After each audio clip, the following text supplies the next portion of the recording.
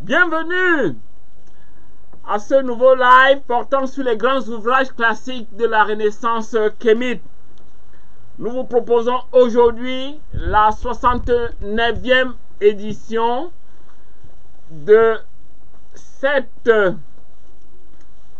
série qui a commencé l'année dernière et qui continue aujourd'hui après une semaine euh, de repos qui continue aujourd'hui, bien sûr, en compagnie du Sèche Kovvi Hekmire, dont les lumières vont nous éclairer tout au long de cette nouvelle rencontre. Cette nouvelle rencontre porte sous l'ouvrage de notre doyen à nous, Bon, qui nous a offert le titre Quand l'Africain était l'or noir de l'Europe et le sous-titre Démontage des mensonges et de la falsification de l'histoire de l'hydre des razzias négrières transatlantiques. Il s'agit donc, comme à l'accoutumée, à travers la série habituelle de 10 questions, de bénéficier des lumières du sèche-covid et d'entrer en profondeur dans cet ouvrage à travers la lecture méthodique qu'il nous propose. Nous tenons à préciser aussi que cet ouvrage, Quand l'Africain était l'or noir de l'Europe, a un autre sous-titre qui est Démontage des mensonges et de la falsification de l'histoire des livres des razzias négrières transatlantiques. L'Afrique, actrice ou victime de la traite des Noirs. Nous allons donc, après euh, l'annonce de ce titre, aller tout droit au but avec la première question qui est celle-ci. Qui est en réalité Bouemba Bon Quelle formation intellectuelle et idéologique a-t-il reçu Serge Kovi Permettez-moi, comme j'en ai pris l'habitude de remercier du fond du cœur toutes les sœurs de combat kémite, tous les frères de combat kémite et tous les sympathisants de la cause kémite. Nous allons bientôt fêter, ou si l'on veut célébrer, les trois ans les trois années de rencontres euh, autour de cette séquence vidéo live qui, au fil du temps, sont devenus pour nous des jalons d'une quête de nos racines ancestrales. Une phrase attire d'entrée de jeu mon attention. Cette phrase est la suivante. Toute dictature s'épanouit sur le terreau de la pauvreté et de l'ignorance. Donc le couple pauvreté-ignorance est indissociable. Dans cette dialectique de la servitude, ou plutôt de ce que nous pouvons qualifié de démission face à notre exigence de liberté, de dignité et d'équité. Tous les êtres humains ne sont pas forcément tributaires de la condition humaine. On peut avoir les caractéristiques physiques d'un être humain, sans pour autant avoir le sens de sa propre dignité, sans pour autant rechercher à conquérir sa liberté, sans pour autant exiger l'équité. Et c'est parce que les censeurs, les tyrans, les potentats, et pourquoi ne pas le dire, les apprentis dictateurs de tout Akabi le savent qu'ils continue à nous narguer, pour ainsi dire. Parce qu'on sent chez eux une jubilation, une satisfaction profonde de voir ce- ces moutons de panurge les suivre jusqu'à la noyade à laquelle ils sont destinés. Qu'est-ce que la pauvreté? La pauvreté, c'est l'état de privation des biens qui sont essentiels à la survie de l'espèce humaine. Lorsqu'on est privé des biens qui sont essentiels à la survie de l'espèce humaine, on est pauvre. Mais est-ce que la télévision, ou plutôt une télévision qui ressemble à un écran de cinéma et qui nous permet de voir les feux de l'amour, la Ligue des champions, ou alors encore euh, les épisodes comme Ushuya, ou je sais pas quoi, Ushuya ou Ishuya. Est-ce que ça, c'est indispensable à notre vie? Non. Ce sont des gadgets de luxe. De sorte que nos parents, nos grands-parents, nos aïeux et nos ancêtres ont vécu pendant des millénaires sans ces gadgets. Et jamais ils n'ont été envieux. Jamais ils n'ont été jaloux. Jamais ils n'ont été mesquins. Donc, cette course à la consommation de luxe, c'est ça qui permet au système de nous confiner dans le statut de d'éternels consommateurs endettés. Et beaucoup d'Africains pensent que ce sont ces gadgets de luxe qui font la différence entre eux-mêmes et les autres qui végètent au village, qui sont dans les campagnes et qui pour cela même sont en dehors de la civilisation. Donc, l'état de civilisation serait en quelque sorte corrélé à ce que j'appellerais la possession en abondance des gadgets de luxe. Mais l'Européen a créé quelque chose sur ce terroir. C'est la misère. Quel est le lien entre la pauvreté et la misère? La misère, c'est un état d'esprit. Parce que certains se servent même de la pauvreté pour devenir des mendiants. Donc pour beaucoup d'Européens, les Africains, y compris les chefs d'État africains, sont des mendiants cosmopolites qui vont dans les assemblées des Nations Unies, des grandes assemblées des institutions internationales pour demander un peu d'argent pour leur pays.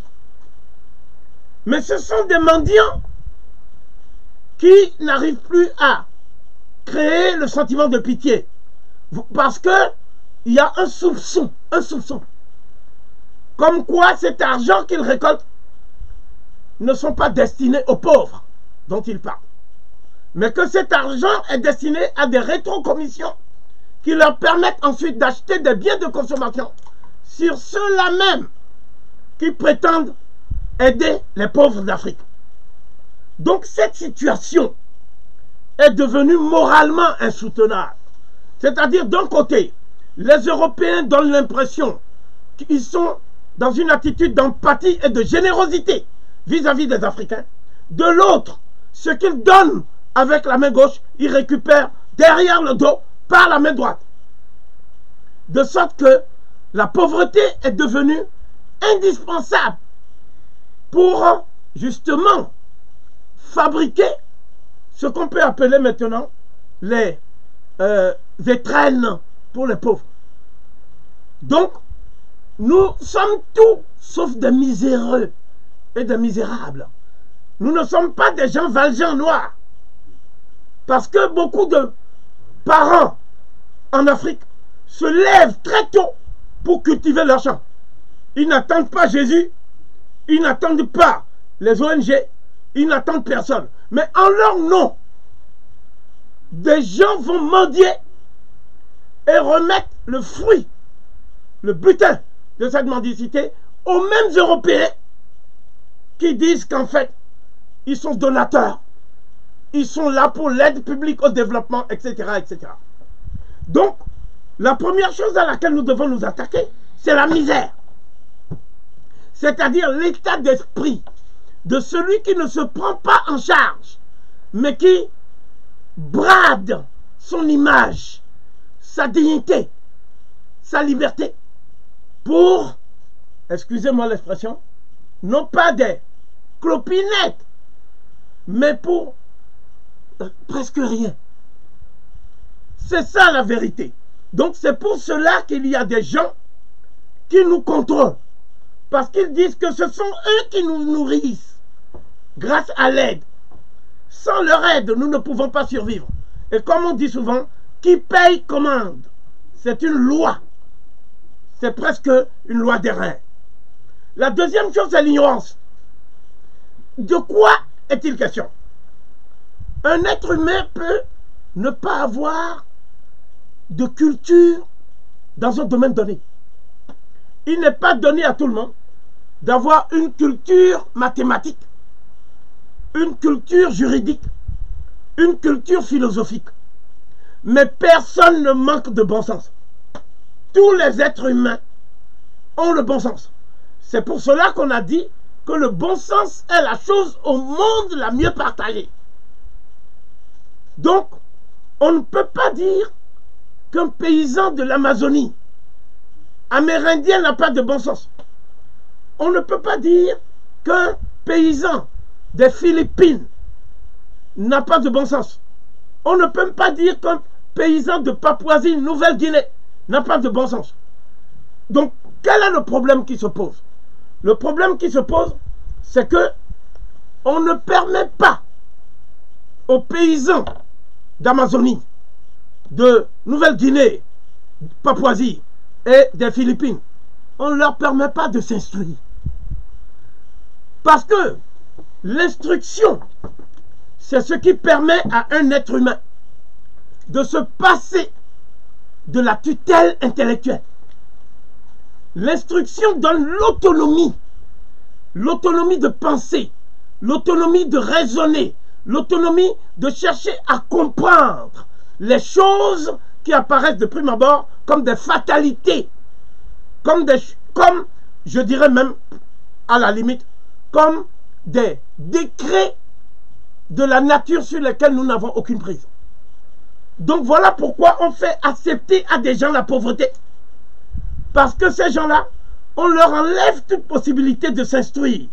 Et lorsqu'on s'instruit, à ce moment-là, on comprend que le système qui crée la pauvreté en Afrique n'est pas un système fataliste. C'est le fruit d'une organisation sociale, économique, politique, je dirais même une organisation oligarchique, dans la mesure où c'est un groupe d'oligarques qui monopolisent la richesse. Parce que ces continents qu'on appelle des pays pauvres, des continents pauvres, sont en fait les plus riches de la planète. C'est-à-dire les trois quarts des réserves minières, énergétiques de la planète, de l'aveu même de la commission spécialisée en la matière de la Banque mondiale, ça se trouve au sud, pas au nord. Le nord, c'est un continent qui vaut par ce qu'on peut appeler l'industrialisation et le numérique, l'intelligence artificielle.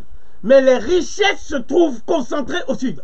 Pourquoi? Parce que, premièrement, il n'est de richesse qu'humaine.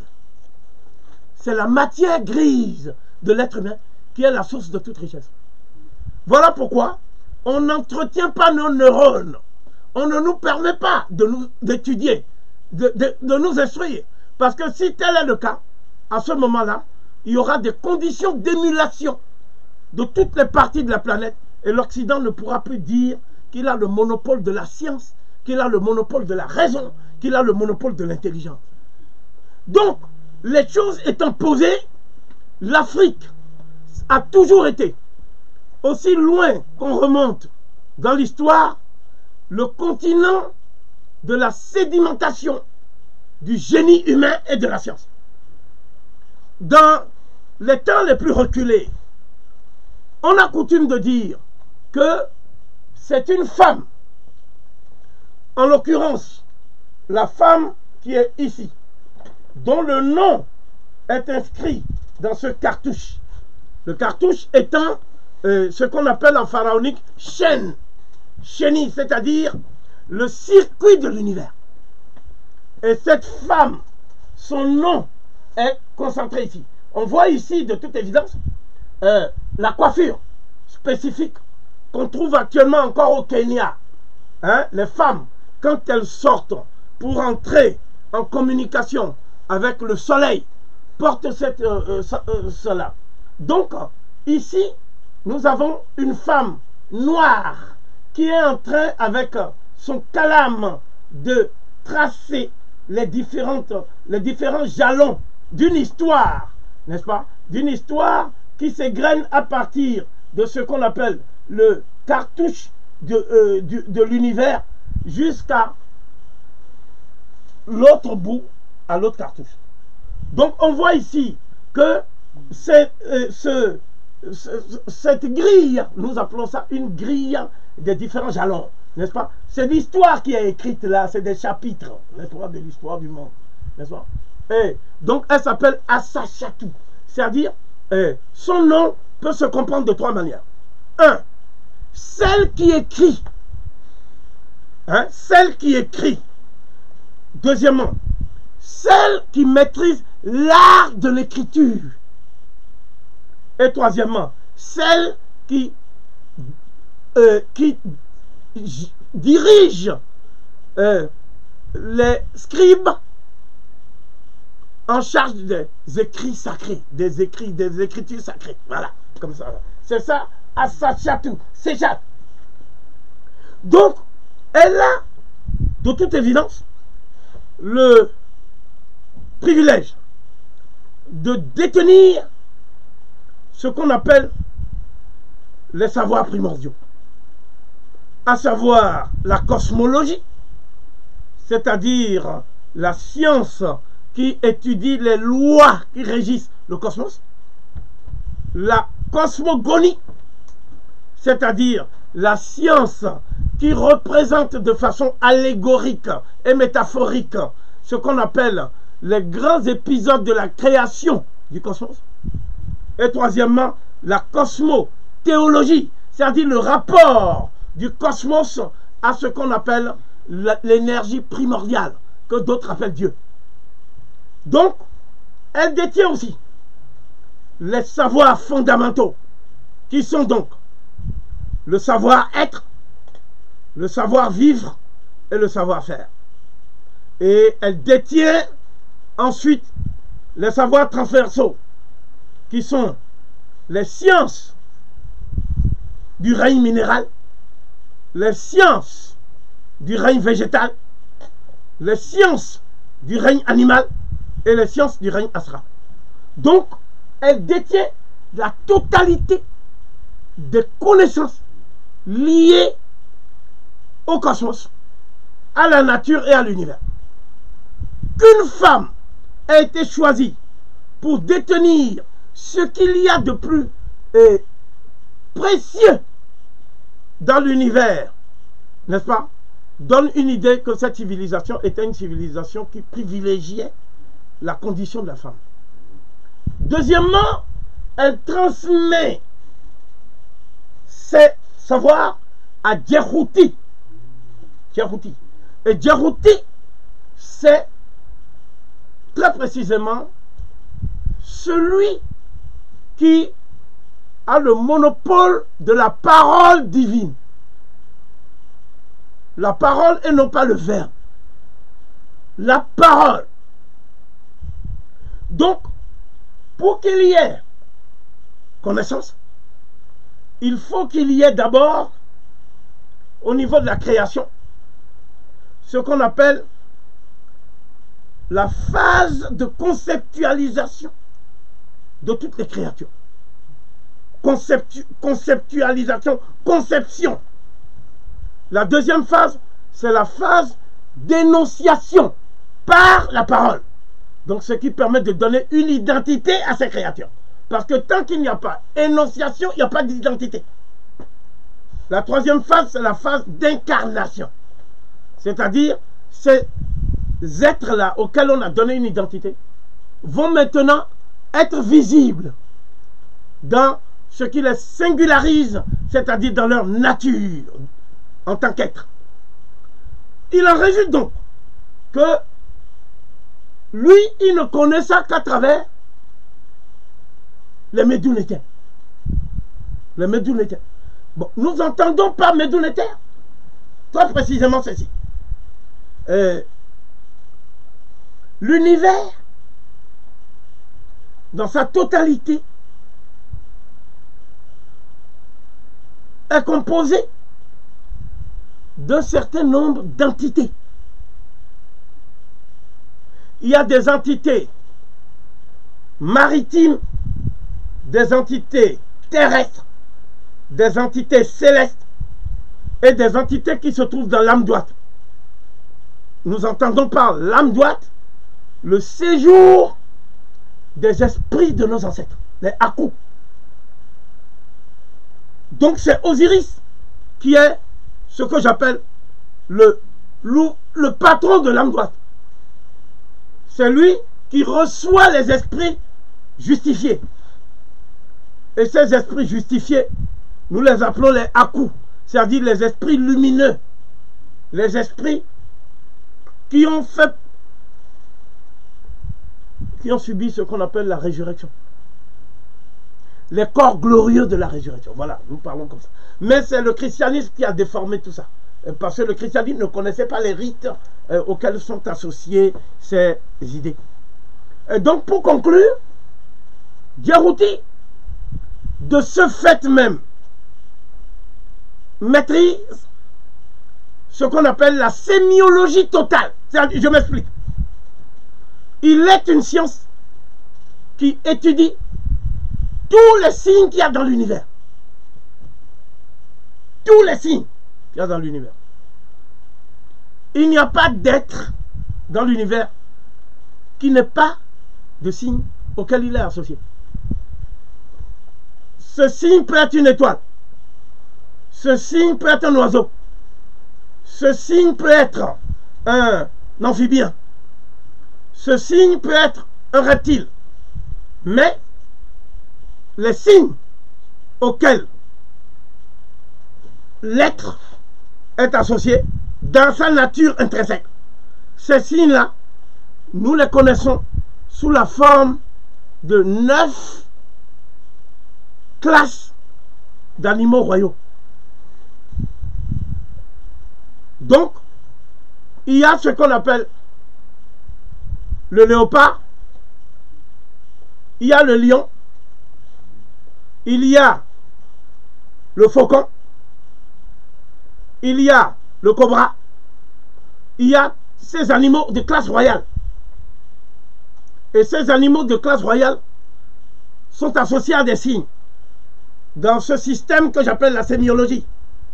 Donc ces signes, ce sont ces signes que Djarouti a pour fonction de mettre dans les catégories et les classes d'êtres ontologiques qui permet de savoir quelle est leur nature, quelle est leur fonction, quelle est, pourquoi ne pas le dire, leur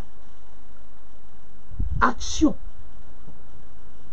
Donc quand on voit une mère qui est très fusionnelle avec son petit, on sait très bien que c'est une vautour, c'est un vautour femelle euh, qui prend soin de son petit. Pourtant, elle appartient à la catégorie des rapaces. On sait aussi que c'est une lionne qui va apprendre à son petit à se défendre, qui va apprendre à son petit à se protéger, à se cacher, tout ça. Nous l'appelons Sakamatu, Sekmet. Donc ça veut dire quoi tout ça? Ça veut dire que étudier les médunitaires revient, un, à identifier tous les signes qui appartiennent à l'univers. Donc c'est ce que nous appelons le signe de l'univers dans un système sémiologique. Mais ce qui est important, ce n'est pas les signes en eux-mêmes. C'est la manière dont leur interaction va entraîner ce que j'appelle l'univers des signes. Donc les signes de l'univers sont au service de l'univers des signes. Et l'univers des signes, ça peut être 990 signes. Mais ces 990 signes, vous n'avez pas besoin de les apprendre par cœur. Il suffit de me dire qu'est-ce qui distingue un jaguar d'un léopard, un léopard d'une panthère, une panthère de... etc. Donc pour, ce faire, il faut connaître ce qu'on appelle la zoologie. Quelqu'un qui ne connaît pas la zoologie ne peut pas connaître les espèces d'animaux dans ce qu'on peut appeler leur généalogie partagée. Donc en fait, je voulais dire par là que sans les médiumnitaires, on ne peut pas faire de science. Ce que nous appelons les sciences procèdent de ce que nous appelons également la maîtrise des médous. Voilà pourquoi les scribes étaient des maîtres de la sémiologie de l'univers. C'est-à-dire, les scribes connaissaient les signes de l'univers que lorsqu'on les classe bien, selon leur catégorie fonctionnelle et naturelle, forment l'univers des signes. Donc les scribes sont capables de décrypter l'univers. Les scribes sont capables de décrypter l'univers. Et voilà pourquoi je vais bientôt organiser des lives pour que les Africains deviennent des scribes. Parce que j'ai constaté qu'il y a des bricoleurs qui s'agitent la toile et qui de temps en temps ont tendance à tirer ma queue, oubliant que je suis très chatouilleux. Donc, moi, j'ai décidé la meilleure façon de mettre un terme à l'ignorance, parce que c'est de ça que nous parlons, ceux qui maintiennent la pauvreté et l'ignorance parmi les Noirs, ce sont ceux-là qui, qui profitent de la souffrance du noir pour en faire un exitoire victimaire. Et à partir de là, ils se présentent maintenant comme ceux qui vont sortir les noirs de la détresse hein, en devenant des soi-disant initiés, des petits nègres qui s'amusent avec moi. Donc, la chose la plus importante, ce n'est pas de parler au nom des ancêtres. Ce n'est pas de parler des ancêtres. Ce n'est pas de parler pour les ancêtres. La chose la plus importante, c'est de laisser parler les ancêtres. Let the ancestors speak. Et pour laisser les ancêtres parler, il faut connaître les médous. Il faut connaître ce que les ancêtres ont écrit, ce que les ancêtres ont délivré comme message. Un des premiers messages que les ancêtres ont délivré, c'est que la vie, Ankh, Anga, Anga, Anka, c'est de l'énergie. Et cette énergie, c'est le don le plus précieux que les Nétérous nous a fait. Le don de la vie est le don le plus précieux que nos Nétérous nous a fait. Je dis Nétérou, mais quelqu'un qui connaît sa langue, qui n'est pas un analphabète, il peut traduire, s'il est Yoruba, Orisha. Donc, moi, je parle aux gens qui sont capables de penser dans leur langue avant de traduire en français. Mais pas de penser en français pour ensuite dire qu'ils sont des... Euh, ils, parlent des ancêtres. Ça, c'est n'importe quoi. Donc, ce que nous disons, et cela doit être clair pour tout le monde, on ne peut pas nous mettre dans la même catégorie que des analphabètes hein, et des ignorants. Il faut être sérieux. C'est pas parce que euh, tous les moutons euh, vont ensemble au pâturage, qu'ils ont la même valeur et le même prix. Faut pas aussi fatiguer les gens. Donc, on en a assez de l'ignorance qui se nourrit de la pauvreté et de la pauvreté qui alimente l'ignorance. On en a assez. Donc, on va former les Africains, les Kémites qui le souhaitent, et on va les former en 30 leçons. Je vais faire des leçons. Donc, chaque leçon, c'est 4 heures. Et chacun devient scribe, en direct. Mais je ne vais pas m'adresser aux gens qui passent leur vie hein, à vivre de la pauvreté de leurs et de l'ignorance de leurs, dont ils abusent pour gagner de l'argent. Je n'ai que pitié pour ce genre de nègres égarés. Donc, je dis ceci. Le message qui est ici,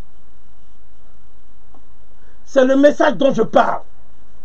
C'est-à-dire, la vie est le don le plus précieux que le Nétérou ait donné à l'être en tant qu'être, même au serpent, même au papillon.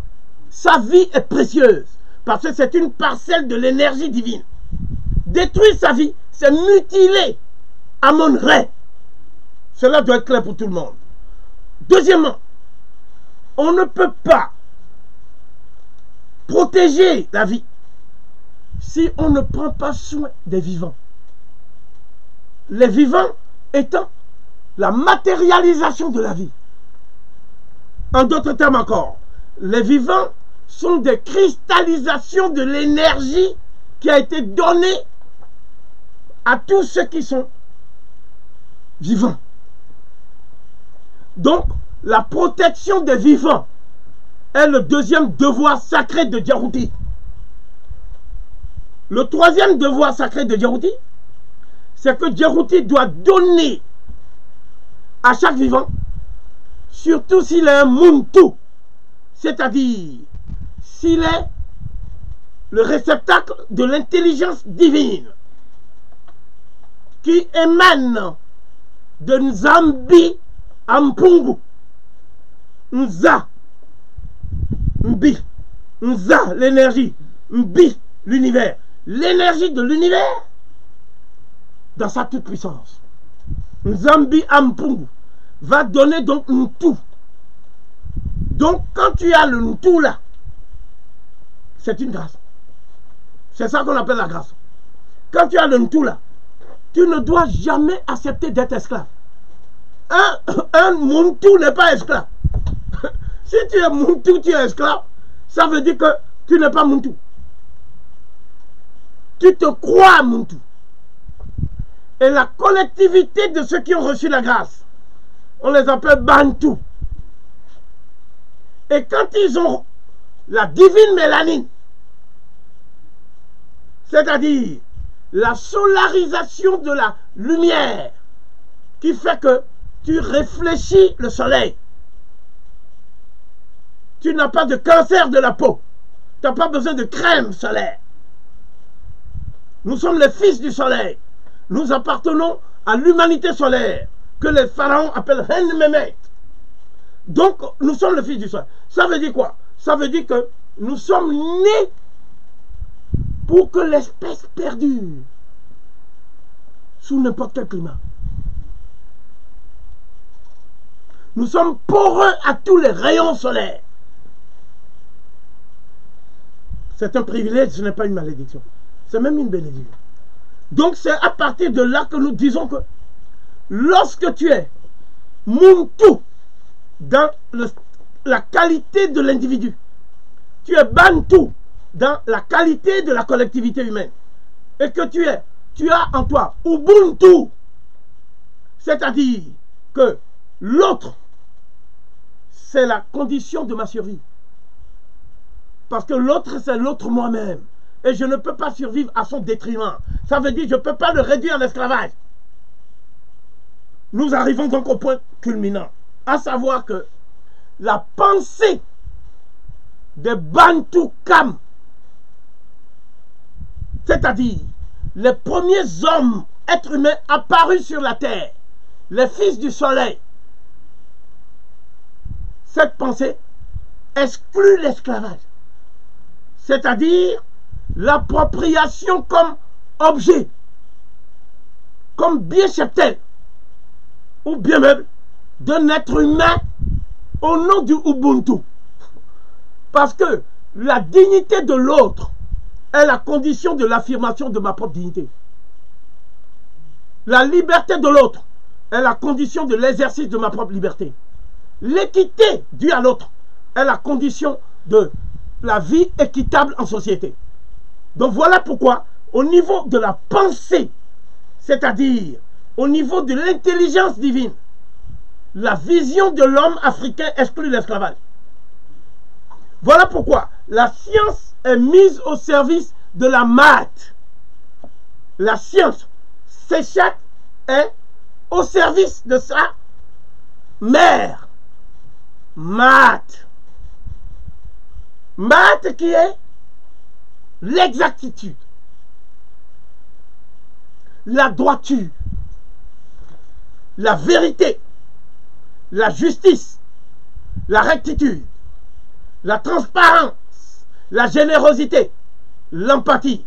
Tout cela, ça exclut les dispositions morales, intellectuelles et affectives d'un esclavagiste. Un esclavagiste n'est jamais juste. Un esclavagiste n'est jamais empathique. Un esclavagiste n'est jamais généreux. Un esclavagiste ne pense qu'à son ventre. Il ne pense qu'à faire bombance. Il ne pense qu'à la luxure. Il ne pense qu'à forniquer. Il ne pense qu'à vivre au détriment des autres, au crochet des autres. Ces dispositions morales, intellectuelles, sont à l'opposé des dispositions de la MAD, le code des vertus cardinales de la MAD. Voilà pourquoi Babon, dont le nom d'état civil ne sera pas dévoilé ici, parce que c'était d'abord un combattant qui a dû s'exiler de son pays, le Cameroun, pour échapper à la mort. Parce que le Cameroun est devenu une chasse à court pour l'impérialisme français qui a supprimé cyniquement la vie de 500 000 Camerounais pour empêcher l'union des populations du Cameroun d'accéder à une indépendance totale et à la souveraineté. Roland Pré, Pierre Mesmer, Jacques Faucard, Michel Debré, Charles de Gaulle étaient des criminels. Parce qu'ils ont ordonné la mort de plus de 500 000 Camerounais. Mais ici, on prétend qu'ils sont des héros de la République. Moi, je dis ici en France, les héros, c'est des zéros. C'est des zéros. À commencer par De Gaulle, le plus grand des zéros. Donc, lorsqu'on considère que toi, tu as tué des gens pour voler leur pétrole, pour voler leur gaz naturel, pour voler l'or, le fer, bauxite, manganèse. C'est comme si la vie d'un être humain, hein, c'est plus, c'est moins précieux que l'or.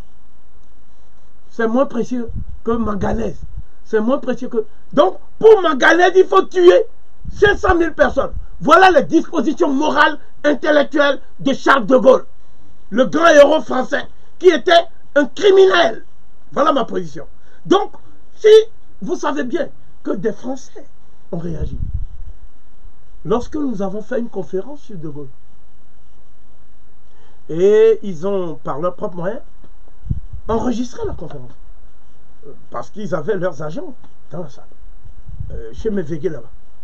Et quand ils ont enregistré, ils ont mis un passage sur le site des identitaires, c'est-à-dire les suprémacistes blancs d'extrême droite, qui ne comprennent pas pourquoi nous ne rentrons pas chez nous. Qui disent, vous avez comme obsession de déboulonner les statues de nos héros. Gallieni, Joséphine de Beauharnais, Colbert, et j'en passe. Mais ce qu'ils ont oublié de dire, le fait de déboulonner une statue, qui est en fait de la pierre, une pierre, ça n'enlève pas ce qu'on appelle le statut. Et encore moins la stature. Qu'est-ce que j'appelle le statut? De Gaulle, c'est qui? En Afrique. Il jouit de statut de celui qui a décolonisé l'Afrique. C'est grâce à lui que l'Afrique a cessé d'être colonisée. Mais qu'est-ce que De Gaulle lui-même a dit? Il a dit, nous avons changé le statut colonial en statut néocolonial. Donc De Gaulle n'a pas enlevé l'idée de la colonisation. Il a remplacé les colons blancs par des colons noirs. Mais il a maintenu le système tel qu'il est. Donc l'État qui fonctionne au Bénin n'a jamais été réformé depuis la colonisation. C'est l'État colonial français qu'on a relooké avec un drapeau en faisant des exhibitions carnavalesques nègres pour dire que c'est l'indépendance. 60e indépendance. Même Alpha Blondie a dit c'est faux. Il y a pas de... Même Alpha Blondie a dit il n'y a aucune indépendance, ça n'a jamais existé. Donc, je dis ceci. Le plus important, ce n'est pas de déboulonner la statue de De Gaulle. Le plus important, c'est de réécrire l'histoire. Pour dire, voici nos héros. Il s'appelle Ruben Umniobe.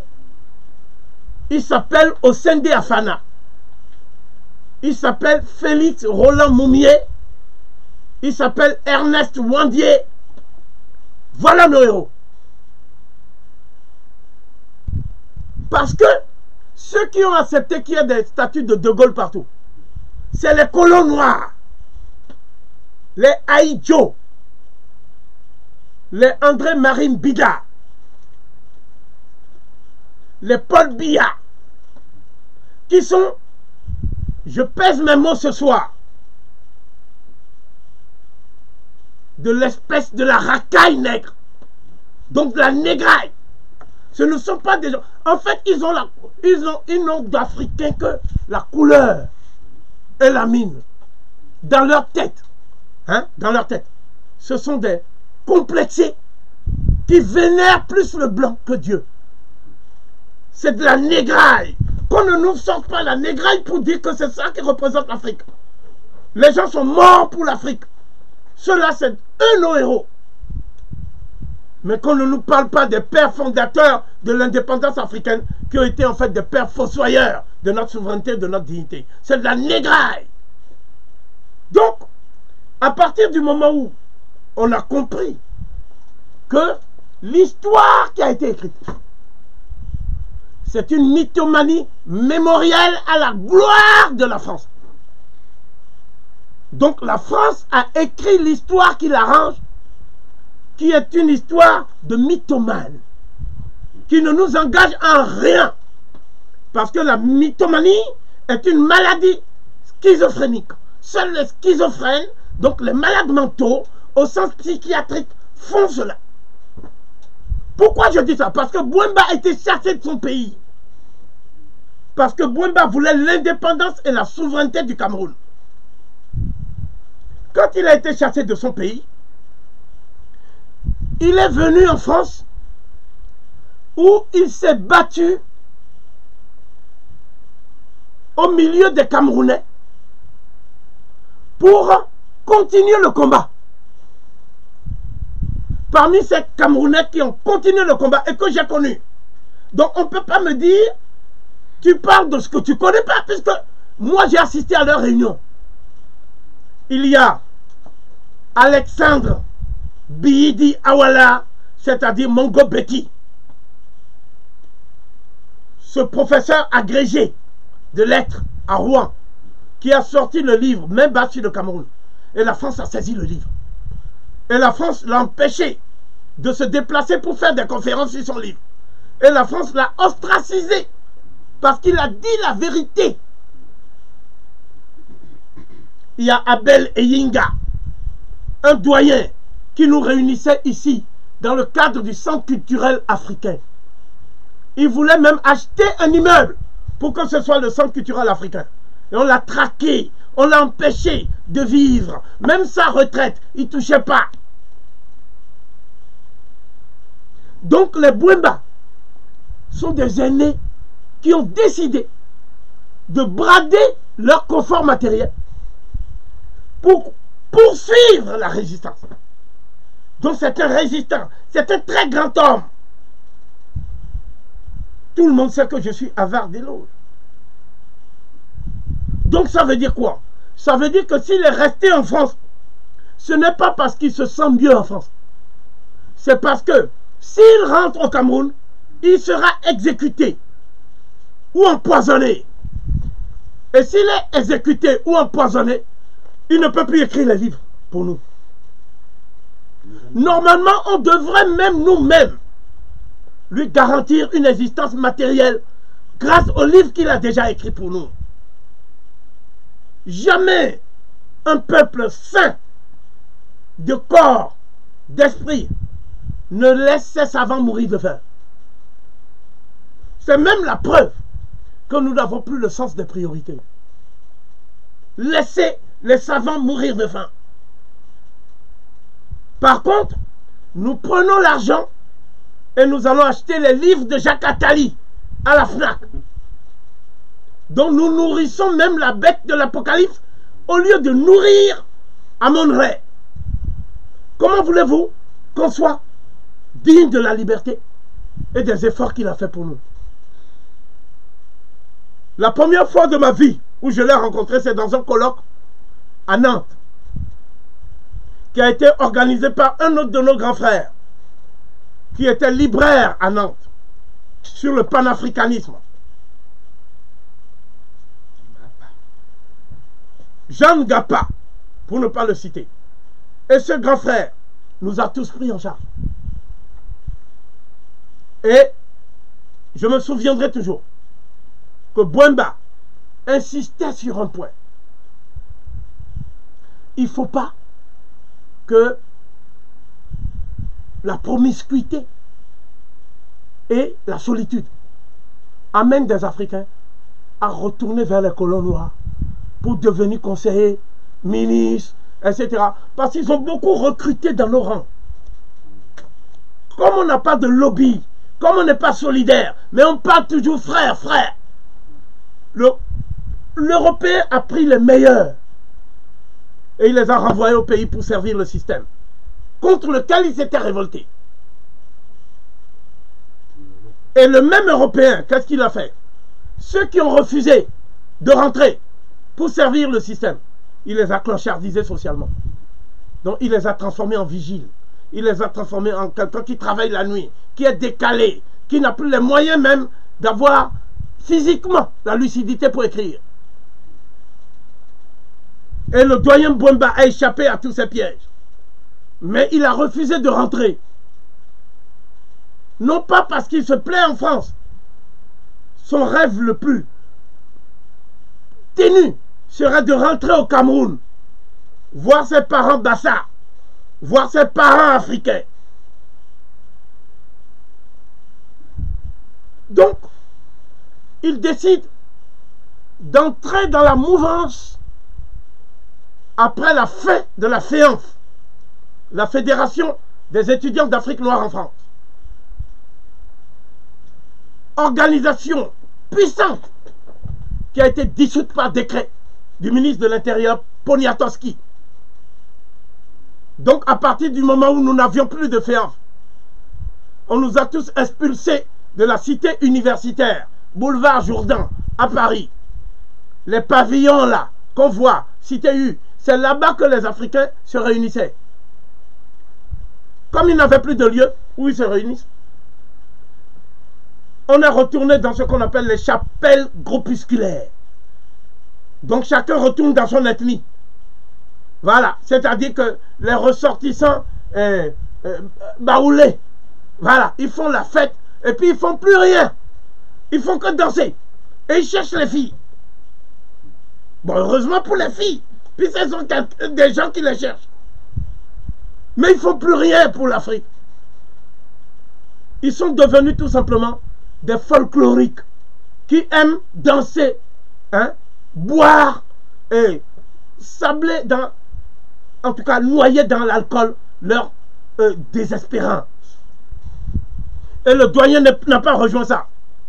Il a dit non, nous n'allons pas sur des bases tribalistes construire l'Afrique. Nous n'allons pas sur des bases micro-nationalistes construire l'Afrique. Un Camerounais est victime du même système qu'un Ivoirien. Nous n'allons pas sur des bases confessionnalistes, c'est-à-dire on est désespéré, Karl Marx nous a abandonnés, on retourne à Jésus-Christ. Il n'en est pas question. Donc, il est resté panafricaniste, militant panafricaniste, jusque dans la fibre et la moelle de son être. C'est dans ce cadre qu'il a décidé de prendre en main les jeunes. Singulièrement les jeunes qui d'abord étaient dans Africa Mat. Bwemba a donc donné des cours dans Africa Mat. Parfois même bénévolement. Je ne sais même pas s'il y a une gratitude de leur part. Bwemba a continué le combat. Mais le vrai combat, c'est quoi? C'est le combat des idées et des idéaux. Pourquoi? Parce que la première chose qui manque à l'Afrique, c'est une vision. La vision, c'est quoi? C'est que nous disons que nous sommes ensemble, mais nous ne regardons pas dans la même direction.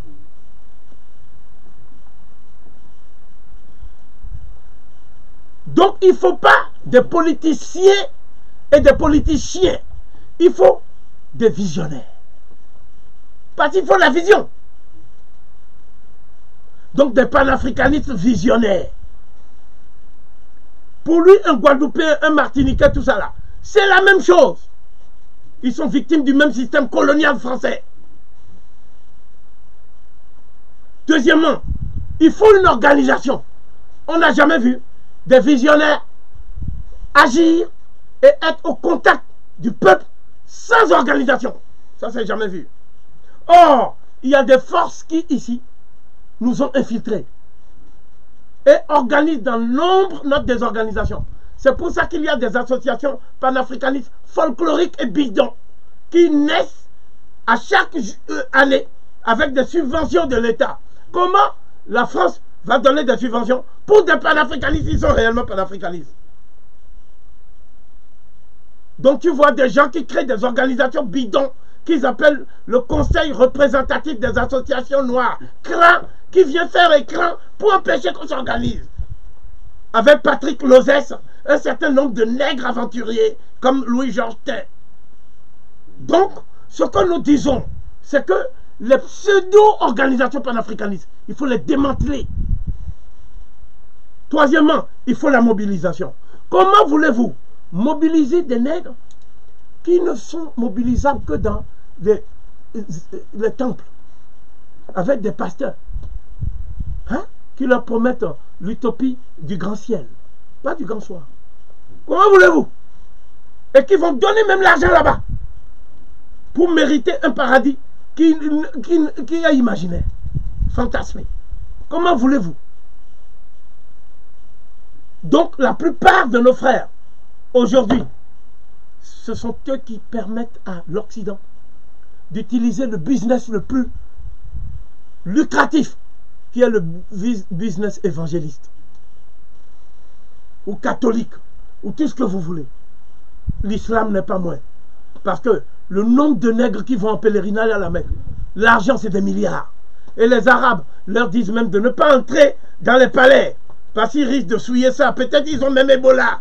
Allez Donc, ce que je veux que les Africains comprennent, c'est ceci. Si tu as Ebola, rentre parce que ton argent aussi a Ebola. Pourquoi tu leur donnes ton argent? Pourquoi ils disent pas que ton argent a Ebola? Les Arabes. Donc, le problème que je pose, et je termine sur ça. Aujourd'hui, Bwemba a besoin de nous. Parce qu'il est à un stade où il continue à écrire Mais avec l'âge, il a besoin de notre soutien. Voilà pourquoi nous allons inaugurer aujourd'hui ce que nous appelons le prix de, de, de live de ta mairie. Ta mairie va donner un prix à des auteurs. Je crois que Namer est suffisamment riche pour sortir maintenant à rééditer ses livres, à en écrire d'autres. Et je ne doute pas qu'il soit en train de le faire.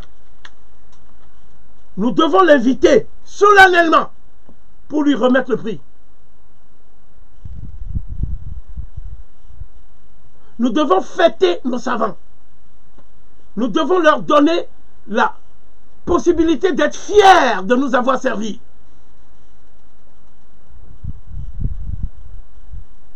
Nous devons leur donner la possibilité aussi de dire je n'ai pas travaillé en vain pour un peuple d'ingrats. C'est ça le réconfort moral et intellectuel dont ils ont besoin dans la phase actuelle.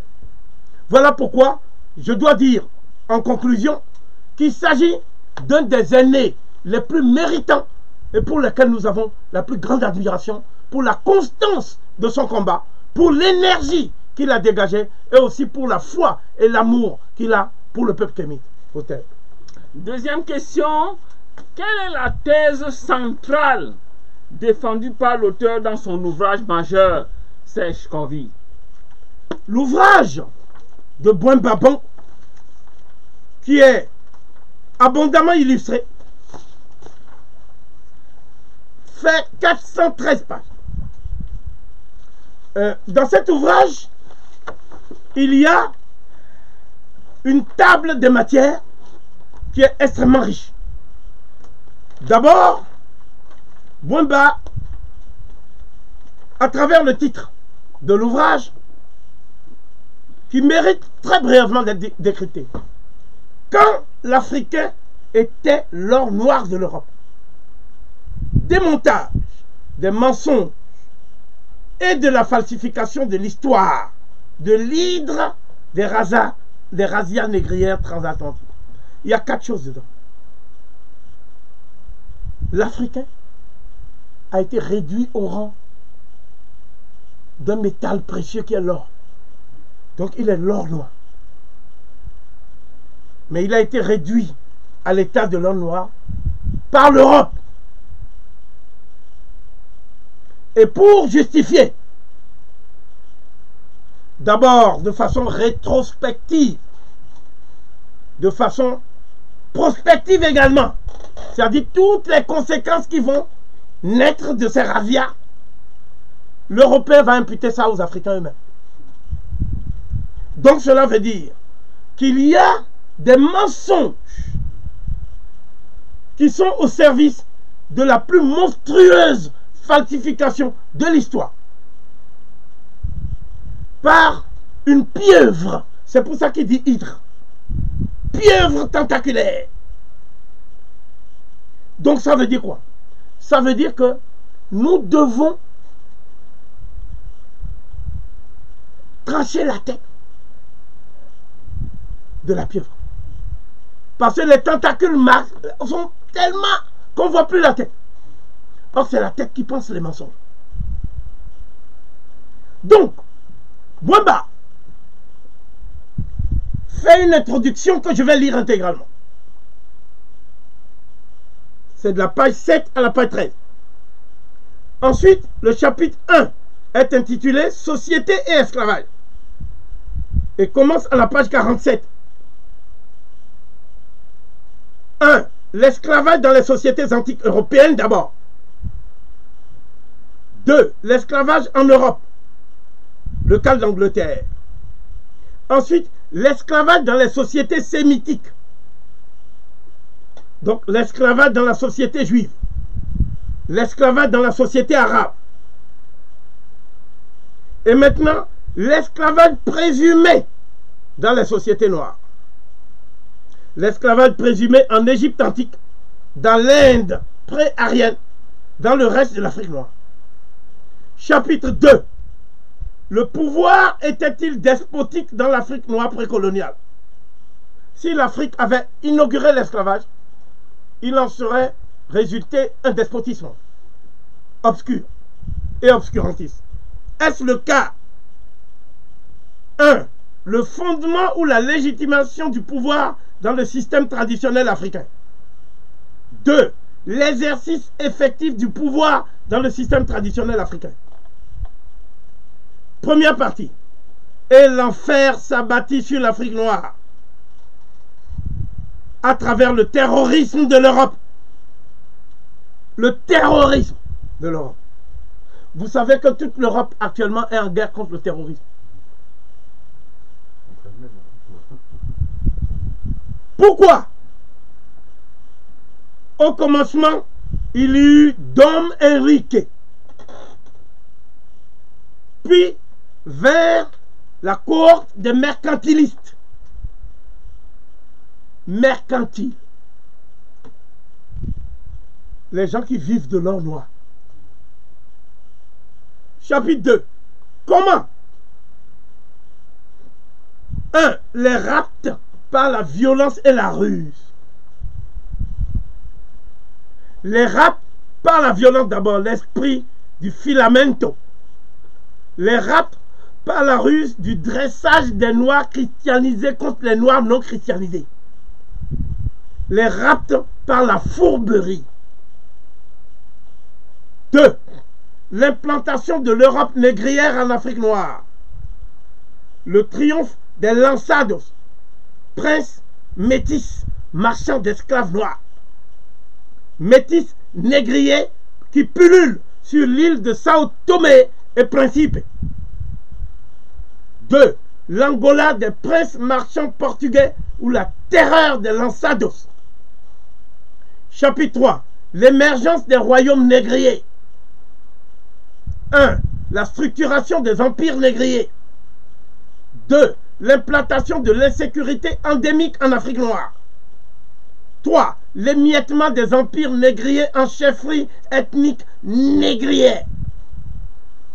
4. L'appel du taux de Phénus Unciarum, pilier de la restructuration de l'économie africaine par les négriers européens. 5. Le triomphe du système négrier sous l'empire du phénomène dynamique. Chapitre 4. Justification religieuse et humanitaire des razzias négrières transatlantiques. 1. Quand l'Afrique noire était l'axe du mal. 2. Le prétendu combat de l'Europe contre le despotisme des rois africains, des roitelets nègres sur leur sujet. Chapitre 5. Le refus de l'esclavage par l'Afrique et ses descendants. 1. Quel rôle les rois africains ont-ils globalement joué dans le système des razzias négrières transatlantiques? 2. La résistance du peuple africain commença dès l'instauration du système des razzias. Raids africains sur les cités et les exploitations agricoles négrières en Afrique centrale. La résistance des Africains en mer, dans les navires négriers. Quelques exemples de résistance des Africains en terre de déportation dans le Nouveau Monde. Deuxième partie, quatre siècles plus tard, chapitre 1, l'abolition enfin Point d'interrogation. La victoire de l'ABS corpus sur les décisions du tribunal royal britannique. L'équipe de, de Clafam, Dieu Tout-Puissant m'a donné deux grands objectifs dans la vie. À la guerre comme à la guerre. La Royal Navy, police des mers. Deux, congrès de Vienne face aux razzias négrières. Sur les pas d'Antao Gonzalves et de Nuno Tristao, les héritiers de Valladolid, l'humanité sur les lèvres, le col noir plein la tête, les héritiers de Custer contre la Royal Navy, les petits aussi se sont fait avoir le tarissement de la source africaine. Chapitre 2. Les conséquences des razzias négrières sur l'Afrique noire quelques-uns des avantages collatéraux tirés des razzias négrières par l'Europe. Le basculement de l'Afrique noire dans l'âge ethnographique comme moyen de survie collective.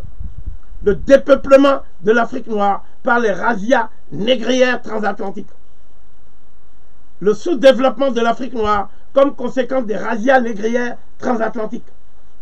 Le poids de l'histoire. L'Afrique noire, gâteau de l'Europe à la conférence coloniale de Berlin.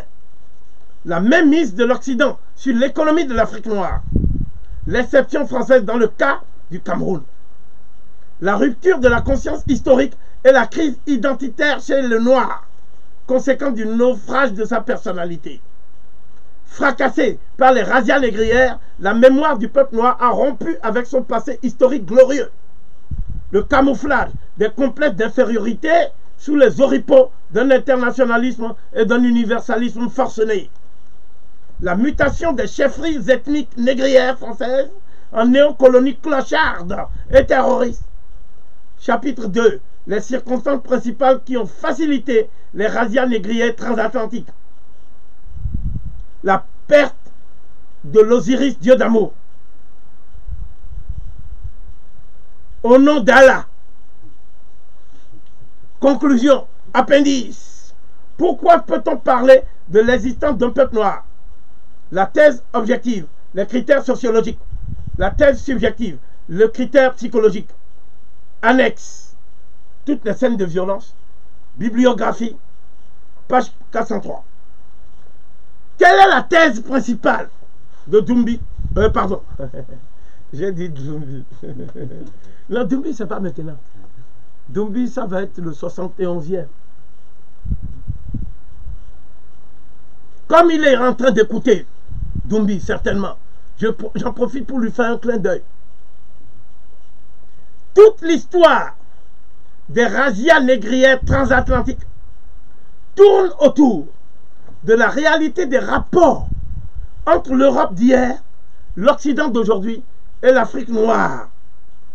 C'est dire que la réponse qui en découle tout naturellement éclaire de mille éclats de la vérité cette page tragique de l'histoire de l'Afrique et du peuple noir.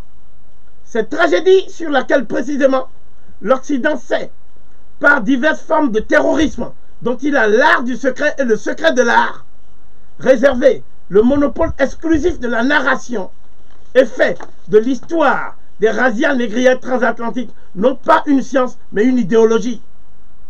Un droit de regard exclusif par lequel il s'est institué juge, parti, jury et au surplus exécuteur testamentaire pour la partie du peuple noir qu'il a kidnappé par sa violence, puis drapé dans un dédain conféré par la loi des armes, il a décrété que la violence faite quatre siècles durant à l'Afrique noire et à ses enfants déportés et transformés en bêtes de somme pour son bien-être et son confort matériel ne mérite ni repentir, ni, à plus forte raison, réparation de sa part.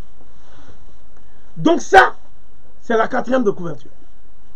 Mais moi, je vais maintenant résumer la thèse de l'ouvrage que j'ai lu, mais que je n'ai pas lu pour vous. C'est-à-dire que ma lecture ne saurait en aucun cas constituer une excuse pour vous abstenir de lire. Mais c'est ma compréhension. Ce n'est pas la compréhension. C'est ma compréhension. Comme dirait Tierno Bokar, le sage de Bandiagara, qui était le maître de Amadou Ampateba, Lorsque Amadou Ampateba lui a dit Je suis venu auprès de vous, maître, pour que vous m'appreniez la vérité. Il lui a répondu Il existe trois vérités. Il a dit Ma vérité, donc la vérité d'Ampateba. Ta vérité, la vérité de, euh, euh, euh, la vérité de Tierno Boka. Et la vérité qui appartient à Dieu. À Mangala. Donc, le problème, c'est que tu es venu confronter ma vérité à la tienne. Tu n'es pas venu apprendre auprès de moi la vérité. Car seul Ngala en a l'exclusivité. Donc, quelle est la vérité de Kovi en cette matière? Elle est simple. C'est un ouvrage qui a résolu un des problèmes majeurs lié à l'histoire de la traite négrière européenne. Cette histoire est la suivante. Est-ce que la traite négrière européenne était à l'origine un commerce avec des transactions et des échanges entre deux parties libres, celle des roitelets nègres, qui offrent leurs sujets en pâture et qui les échangent contre des pacotilles, c'est-à-dire l'eau de vie, des des, euh, des tissus, du tabac, etc., etc., ce qui sous-entend que ces roitelets nègres n'ont pas une conception humaine de l'humanité noire. Parce qu'ils sont capables d'échanger des objets avec des êtres humains. Donc, les Blancs ont dit ceci. Eux, ils ont accepté d'acheter ces nègres moyennant des pacotilles, tout en sachant que ces nègres ont plus de valeur que ces pacotilles, parce qu'ils veulent les christianiser et les civiliser. Voilà l'histoire. C'est-à-dire, au lieu de dire, nous voulons prendre ces nègres pour les emmener travailler gratuitement pendant cinq siècles, afin que nous, on puisse vivre dans un luxe ostentatoire. Ils disent que ils ont consenti à les acheter parce qu'ils avaient le souci de les humaniser à travers l'évangélisation, l'instruction et la civilisation. Voilà ce qu'ils ont dit. Donc, s'il est avéré qu'il n'y a pas eu de tractation, d'échanges commerciaux, cette thèse s'effondre. Donc je la résume pour que ce soit clair pour tout le monde. Il y a le pôle de l'offre, c'est l'Afrique. Les roitelets nègres offrent des êtres humains à des blancs parce qu'ils avaient peu de considération pour l'humanité de leur propre sujet et pour, par ricochet, leur propre humanité. Il faut que ce soit clair pour tout le monde avant qu'on commence. Deuxièmement, les Blancs ont consenti à acheter ces nègres à leur corps défendant parce qu'ils étaient des chrétiens. Mais ils pensaient que en captivité, ces nègres seraient plus heureux. Parce qu'ils vont être évangélisés, ils vont être instruits et ils vont être civilisés. Ces nègres sont acheminés vers un deuxième pôle, qui est le pôle de la demande, c'est-à-dire l'Europe. Et comme tout attend, ces nègres, ils ont fait la grandeur de Bordeaux, Nantes, Liverpool, Honfleur, Saint-Malo, La Rochelle, et ils ont été à l'origine de l'industrialisation de l'Europe. Donc au lieu de les christianiser, de les instruire, etc., on les achemine vers le troisième pôle, qui est l'Amérique et le Nouveau Monde. Et là, on les met dans des camps de travail et de la mort. C'est ça qu'on appelle les plantations. C'est le premier camp de concentration. Camp de travail et de la mort. Et là, on les fait travailler jusqu'à ce que mort s'ensuit. Et l'espérance de vie était de 17 ans tout au plus. À 17 ans, on paraissait physiquement comme si on avait 75, 80. Tellement on a été exploité. Donc cela veut dire quoi? Ceux qui dépassaient 30 ans étaient rares. Donc, c'est noir. Pourquoi on les a fait travailler là-bas? On pouvait tout simplement les, civiliser, leur donner la liberté. C'est parce que ce sont eux qui vont faire la grandeur de la France. Donc Saint-Domingue produit tout le sucre qui permet à la France de s'enrichir. La Guadeloupe produit le coton. La Martinique produit des eaux de vie, un certain nombre de choses pour permettre à la même France. Ce sont ces mêmes Noirs qui ont construit les États-Unis, qui ont construit le Brésil, pendant des siècles et gratuitement. Ça, c'est ce que j'appelle l'histoire fantasmée de l'Occident. Maintenant, voici la réalité. Et c'est la thèse de Bouemba. Bouemba dit, en lieu et place des échanges commerciaux, dont les hommes seraient en fait les marchandises, donc l'or noir de l'Europe, il y avait des razzias négrières.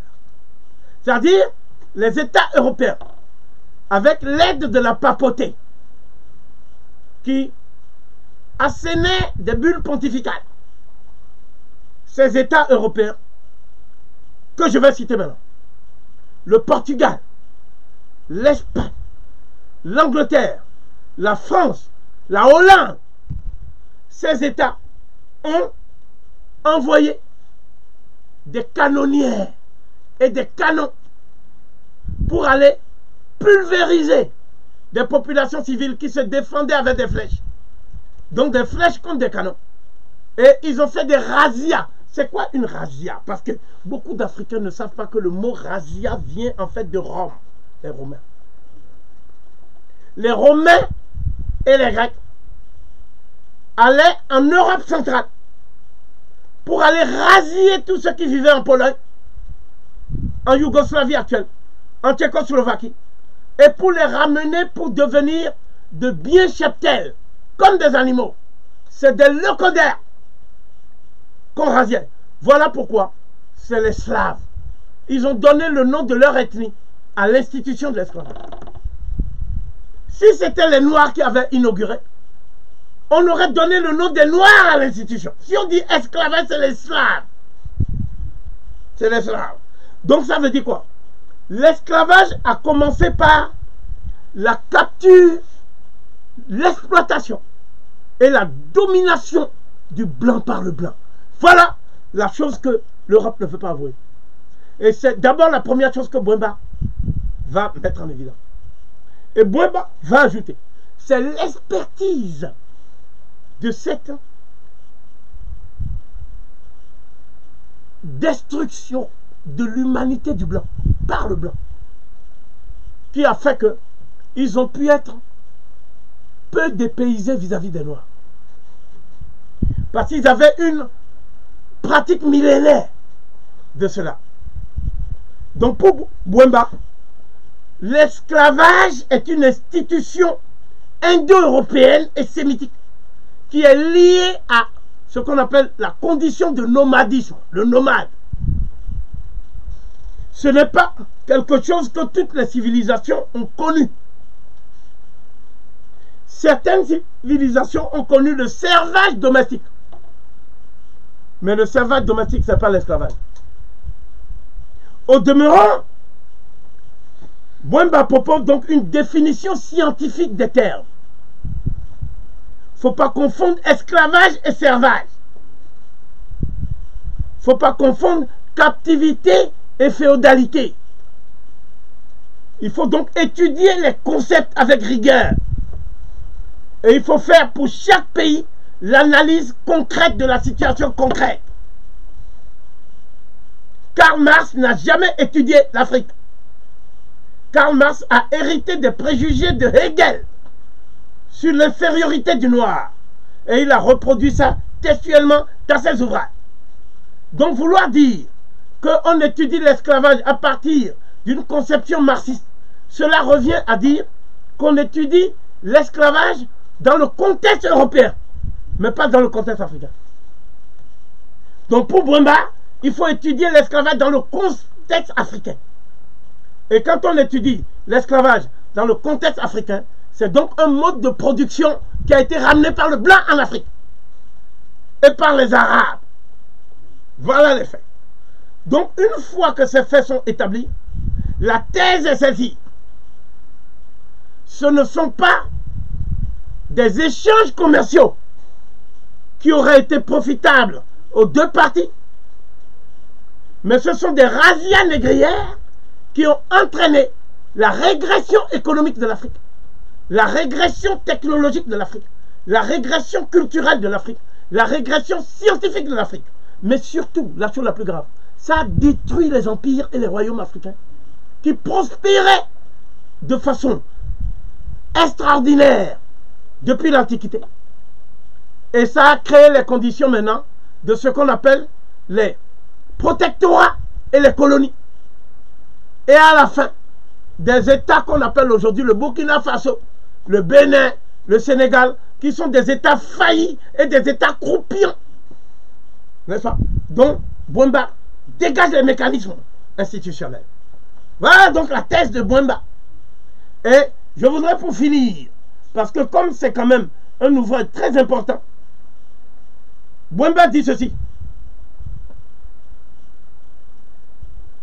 Par une technique consommée et éprouvée, de la justification de ces saccages et de ces prédations, l'Occident, par les négriers européens interposés, qui fondirent sur l'Afrique noire du 15e au 19e siècle, diabolisa au préalable les habitants de l'Afrique noire. Bouembassi, sauvage, offert au règne de potentats, païens, buveurs de sang, cannibales, antithèse de la civilisation triomphante dont Dieu a fait de l'homme blanc le dépositaire et le messager à travers Jésus-Christ. Ce qui frappe en effet dans l'histoire des razzias négrières transatlantiques comme cas d'espèce relaté par l'Occident dépositaire de l'autorité universelle de l'enseignement de l'histoire de l'humanité, c'est le simplisme et la transpiration à peine voilée d'imposer comme toujours la vérité absolue de l'Occident et rien que cette vérité. Celle qui affirme que pour un miroir, pour de la pacotille en somme, le nègre est capable de vendre de son propre gré son frère au négrier européen qui, à son corps défendant, au nom du Dieu chrétien, se sacrifia volontiers à ployer sous la responsabilité d'un Robinson Crusoe librement consenti à retirer des hordes de vendredi des serres de l'anthropophagie, des guerres endémiques et du despotisme congénital des féodaux africains. Comme le monde le vit aujourd'hui, par la stratégie d'appropriation du pétrole irakien par les États-Unis d'Amérique, chaque fois qu'il doit commettre un forfait mortel, le prédateur occidental recourt préalablement à la manipulation et au mensonge. Car ce qui le caractérise, entre autres, c'est sa capacité à mentir effrontément et à user de la violence comme base de tout rapport avec l'autre. Par conséquent, du point de vue de la philosophie, les razzias négrières transatlantiques ne furent après tout qu'un non-événement que la charité chrétienne vis-à-vis des nègres, responsables de leur propre malheur, intime à l'Afrique noire, lors de s'auto-flageller, comme le vociférait avec arrogance Liliane Crête par exemple. Pourtant, il est plus qu'évident que c'est parce que l'Europe du 15e siècle a eu besoin de la main-d'œuvre africaine qu'elle édifia le vaste système négrier qui ravagea l'Afrique noire pendant quatre siècles. En effet, si comme cela est désormais irréfutable, l'Europe, armée et conquérante jusqu'à nos jours, a eu besoin vital de cette main-d'œuvre africaine gratuite, est-il seulement pensable, fût-ce un seul instant, qu'elle s'est donné la peine de la marchander auprès des prétendus rois nègres et roitelets nègres sur lesquels elle avait une supériorité militaire écrasante? Doit-on comprendre que, dans son évolution, l'Europe est allée de la civilisation à la barbarie? En d'autres termes, faut-il accepter que les Desmarchais, Bosman, Pinot, Snellgrave, Olonois, Ducasse, Gramont, Drake, Morgan et autres surcouf, corsaires, pirates, boucaniers, flibustiers, en dépit de leurs acquaintances avec les forbans de l'Hispaniola, de l'île au trésor, de Robert Louis Stevenson, étaient plus humanistes que nos contemporains, les requins industriels d'Elf-Aquitaine, qui, au seuil du troisième millénaire, ont renversé dans un bain de sang Pascal Lissouba, président démocratiquement élu par le Congo, et massacré des dizaines de milliers de Congolais, dont des enfants, pour s'accaparer le pétrole du Congo, que la France des droits de l'homme a décidé qu'il lui appartenait selon le fondement de la culture occidentale du droit de la force en lieu et place de la force du droit. Mwamba bon. Auteur. Troisième question. Quelles sont les principales thématiques explorées dans le même ouvrage, Safe D'abord, l'ouvrage commence par l'étude de la traite des Blancs par les Blancs. Je crois même que c'est un des passages les plus importants de l'ouvrage. En tout cas, c'est un des passages qui m'a permis de beaucoup apprendre. Et il est évident que euh, lorsque cette histoire est considérée sous cet angle, cela rejoint le travail remarquable de Rosa Amelia Plumel Uribe, intitulé Traite des Blancs, traite des Noirs, aspects méconnus et conséquences actuelles. Rosa Amelia Plumel Uribe écrit ceci. Depuis quelques années, parce que les Africains pratiquant préalablement l'esclavage avaient la fâcheuse habitude de se vendre les uns les autres. Pour prouver la validité de ce postulat, on nous rappelle qu'à partir du 7e siècle, une certaine Afrique était devenue pourvoyeuse d'esclaves exportés par les pays musulmans. Ce postulat a la vie longue parce qu'il sert à renforcer le sentiment d'une supériorité morale des Européens, dont le corollaire serait l'infériorité morale des Africains. Mais une approche plus respectueuse de la vérité et de la matérialité des faits nous apprend que les Européens, loin d'avoir mis fin au commerce des esclaves après l'Antiquité, ont continué à se vendre les uns les autres. À partir du 8e siècle et jusqu'à la fin du Moyen Âge, une certaine Europe était elle aussi pourvoyeuse d'esclaves exportés vers les pays musulmans. Des Européens étaient donc vendus par d'autres Européens aux marchands trafiquants d'esclaves. En Europe et en Afrique, à la même époque, fonctionnaient quelques centres de castration, contrôlés par des commerçants spécialisés dans la fabrication de nuques, une marchandise très prisée alors dans le monde arabo-musulman. Ces faits et leurs conséquences sont généralement ignorés, sauf de quelques rares spécialistes qui n'ont pas pion sur eux, car aucune mention n'en est faite dans les manuels d'enseignement. Or, d'une histoire ainsi tronquée, on ne peut tirer que des idées fausses. Cet ouvrage comble ces lacunes décisives. Donc cela veut dire quoi? Je vais m'efforcer d'être précis. Cet ouvrage établit que dans ce qu'on appelle le chapitre de l'histoire générale de l'esclavage dans l'humanité, on ne parle jamais de la naissance de l'institution de l'esclavage. Deuxièmement, on ne parle que très rarement de ceux qui pratiquaient cette institution.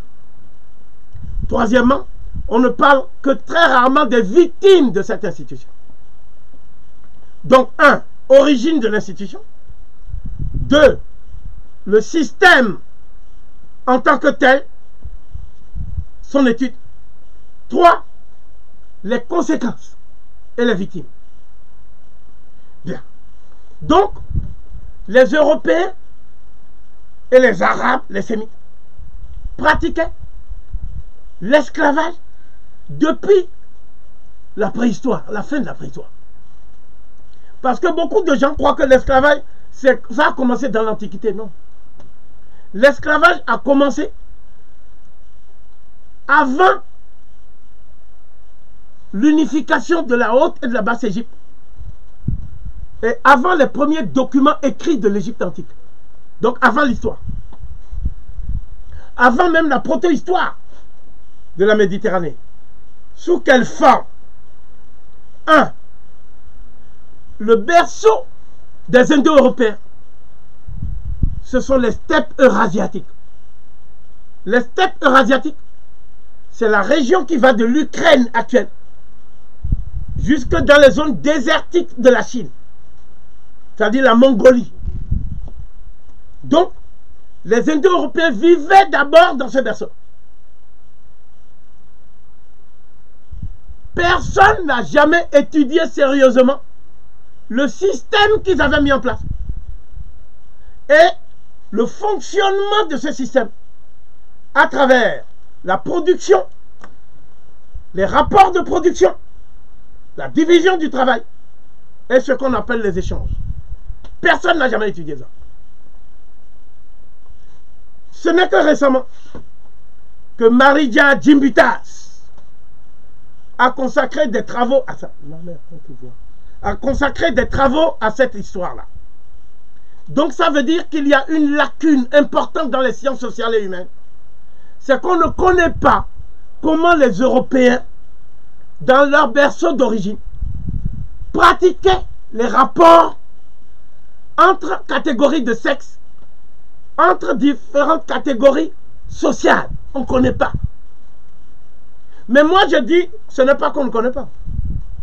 C'est qu'on a refusé d'étudier. Donc, les auteurs qui voulaient étudier cela, ces auteurs n'étaient pas financés. Parce que l'Europe a un problème que nous, on ne connaît pas. Et ce problème, c'est son talon d'Achille. C'est-à-dire, c'est le seul endroit par où l'Europe est vulnérable. C'est que l'Europe a été la région du monde hein, qui a déshumanisé le plus l'être humain. Qui a fait le plus de guerres.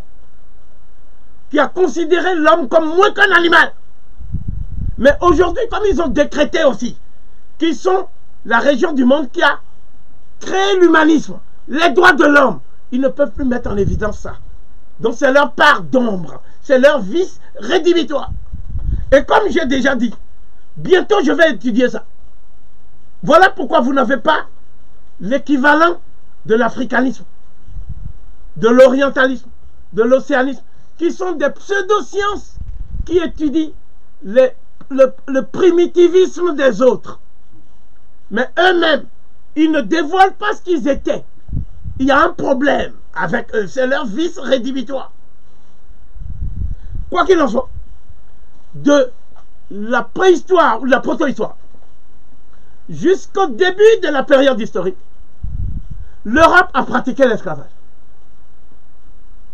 Voilà le secret de l'Europe. Donc l'esclavage, pourquoi c'est lié au nomadisme? Parce que dans une société nomade, ce sont les hommes, notamment les guerriers, et aussi les gens qui font des butins de guerre, les prédateurs économiques. Ce sont eux qui ont la direction et la préséance. Les femmes étaient là pour procréer, c'est-à-dire reproduire mais pour qu'eux, ils puissent vivre dans ce qu'on appelle un relatif confort, dans un environnement naturel dégradé, où il faisait froid. Ce froid était rédhibitoire pour qu'ils puissent vivre dans ce relatif confort. Il faut qu'il y ait des hommes qui travaillent pour eux. Et ces hommes, c'est une main-d'œuvre taillable et convoyable à merci qu'on a réduit à l'idée d'un animal. C'est ça qu'on appelle le bien cheptel. Le cheptel. C'est comme aujourd'hui, quand quelqu'un a beaucoup, beaucoup, beaucoup de moutons, s'il était à Madagascar, il a beaucoup de zébus, il est riche. C'est celui qui a le plus d'esclaves qui est riche. Parce que les esclaves sont un bien cheptel. Pour l'Européen. Bon, beaucoup d'Européens le savent. Pourquoi? Parce que leurs chansons de gestes leur tradition ne parle que de l'esclavage et des guerres. Donc, comme, ils savent que nous, on ne sait pas. Non, je crois que j'ai tort de dire ça.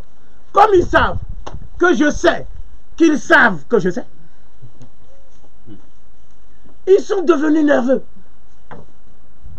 Parce qu'en fait, nul ne doit payer pour ce que ses ancêtres ont fait. Ce que nous leur demandons, c'est simple. C'est un acte solennel de contrition et de repentance. Donc, cet acte, ce n'est même pas de dire que euh, il regarde la voiture des nègres. C'est d'écrire la vérité. Il faut écrire la vérité c'est tout. On n'a pas besoin de déboulonner leur statut. Il faut écrire la vérité. Que Colbert était un monstre. Que De Gaulle était un monstre. Que tous ces gens étaient des monstres. Il faut écrire la vérité. Mais imaginez, si les héros du récit français sont présentés tels qu'ils sont, comme des monstres, mais qu'est-ce qui se passe? C'est un suicide moral et intellectuel pour la France. C'est-à-dire, au nom de quoi la France va dire demain qu'elle est à la tête de l'humanisme? Au nom de quoi? Donc tout le problème est là. Donc, moi je dis ceci. Les sémites, c'est pareil. Les sémites. Qui sont les sémites? Les sémites sont des métis de noirs et de blancs en Asie occidentale. Donc ces métis de blanc et de noir, ce sont des métis à dominante blanche. C'est-à-dire, ils ont vécu dans les conditions sociales de leurs ancêtres nomades. En d'autres termes encore, les Noirs ont été exterminés. Les Noirs avec lesquels ils se sont métissés, ils ont fait une épuration ethnique. Et ils ont gardé les mœurs des leucodermes dégradés qui sont à l'origine du rameau sémitique. Quoi qu'il en soit, ce que nous pouvons dire, c'est que quand on voit l'expansion des sémites, on se rend compte que partout où ils sont passés, ils ont colporté l'esclavage. Je vais même plus loin. Dans la Bible, l'Ancien Testament, dans la Bible hébraïque, l'esclavage est une vertu morale.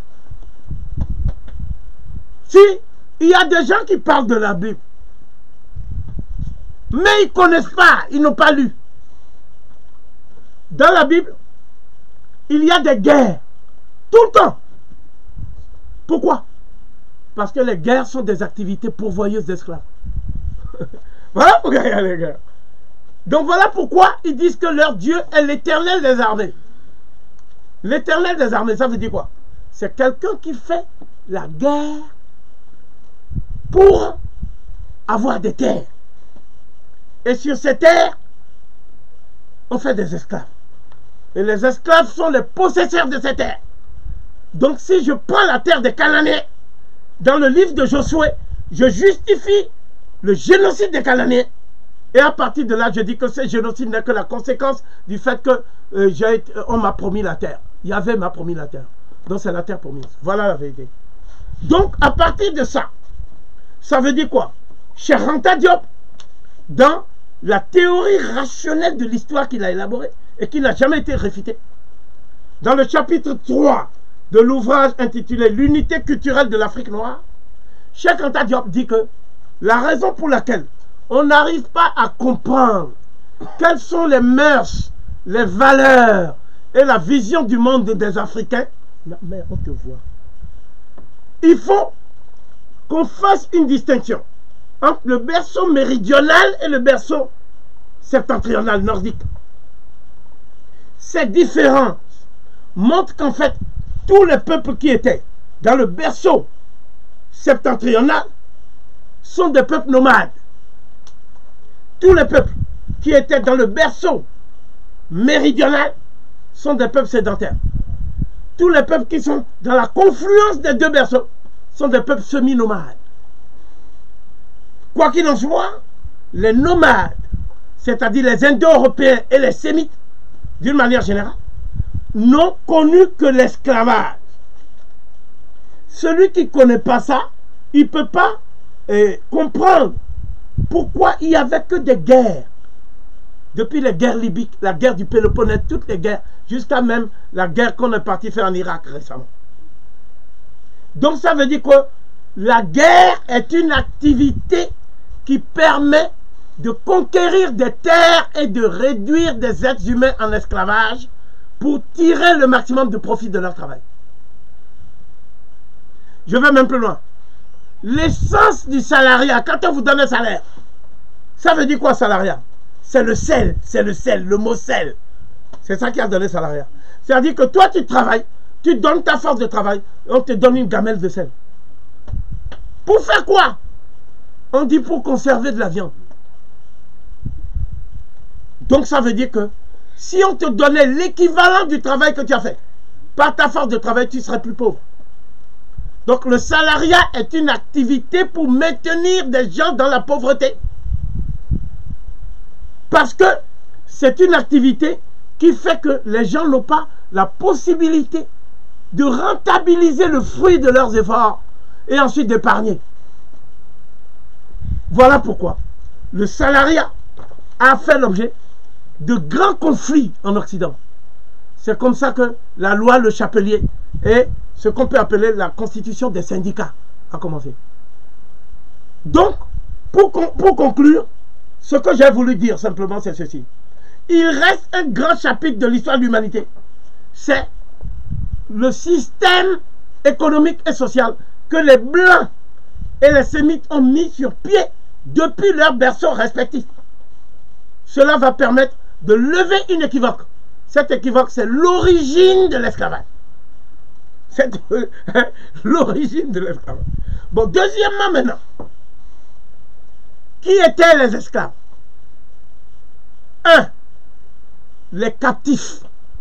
Donc, les prisonniers qui faisaient étaient réduits en esclavage. Donc, quand tu vas attaquer le pays de quelqu'un, tu prends des butins, mais en même temps, tu réduis les habitants qui ont survécu à la razzia en esclavage. Ensuite, ces habitants, tu les fais travailler pour toi, gratuitement. C'est ça qui fait que ces habitants sont pauvres. Parce que quand vous travaillez pour quelqu'un, vous n'avez pas le temps de vous enrichir et d'épargner. Pourquoi? Parce que la liberté, la privation de la liberté est un acte de guerre économique. Priver quelqu'un de sa liberté, c'est un acte de guerre économique. Ou plutôt de guerre, de, de prédation économique. Voilà pourquoi les pays comme l'Espagne, le Portugal, la France, la Hollande, l'Angleterre ont toujours étudié comment faire des guerres dans les colonies. Voilà. Voilà pourquoi ça a été des pays impérialistes, expansionnistes, parce qu'ils avaient des débouchés sur des territoires pour pouvoir réduire des gens en esclavage et prospérer pour s'industrialiser à bon compte. Voilà notre position. Donc, s'il en est ainsi, nous allons poser le problème de la façon la plus claire qui soit. Et c'est le chapitre 1 du livre de Boimba. Comme je n'ai pas le temps d'entrer dans le détail, je dirais simplement que je recommande la lecture de ce qui est intitulé L'esclavage dans les sociétés européennes. Là, il parle des Grecs, des Romains. Il arrive à l'Angleterre du 16e et 17e siècle, où les gens de pays de Galles étaient esclaves. Oui, les Écossais étaient esclaves. Ensuite, il arrive à la société juive. Il explique pourquoi ils étaient tous esclaves. Et les esclaves parmi les juifs, c'est eux qui ont été affranchis pour pouvoir maintenant faire l'esclavage contre les noirs. C'est-à-dire que si vous voulez savoir quels sont les juifs qui ont investi à Curaçao, c'est-à-dire sur les côtes du Venezuela, dans la traite des noirs, il faut savoir que c'était des esclaves. Donc l'idée selon laquelle, quand on est esclave, on est porté spontanément à abolir l'esclavage est fausse. Hein? Parce que celui qui a été esclave trop longtemps, il rêve d'attraper un esclave. C'est comme ça que les locodèmes font. Donc, il y a un navire négrier qui s'appelait Abigail. Son patron s'appelait Aaron Lopez. Et il était associé à Moses Levy et à Jacob Franks. Il y a un bateau qui s'appelait Crown. Son patron s'appelait Isaac Levy. Et il était associé à Nathan Simpson. Un bateau négrier qui s'appelait Nassau. Moses Levy encore, propriétaire. Un bateau qui s'appelait Far Sister, c'est-à-dire les quatre sœurs. Moses Levy encore propriétaire. Un bateau qui s'appelait Elisa and Anna. Justice Bosch et John Adams propriétaire.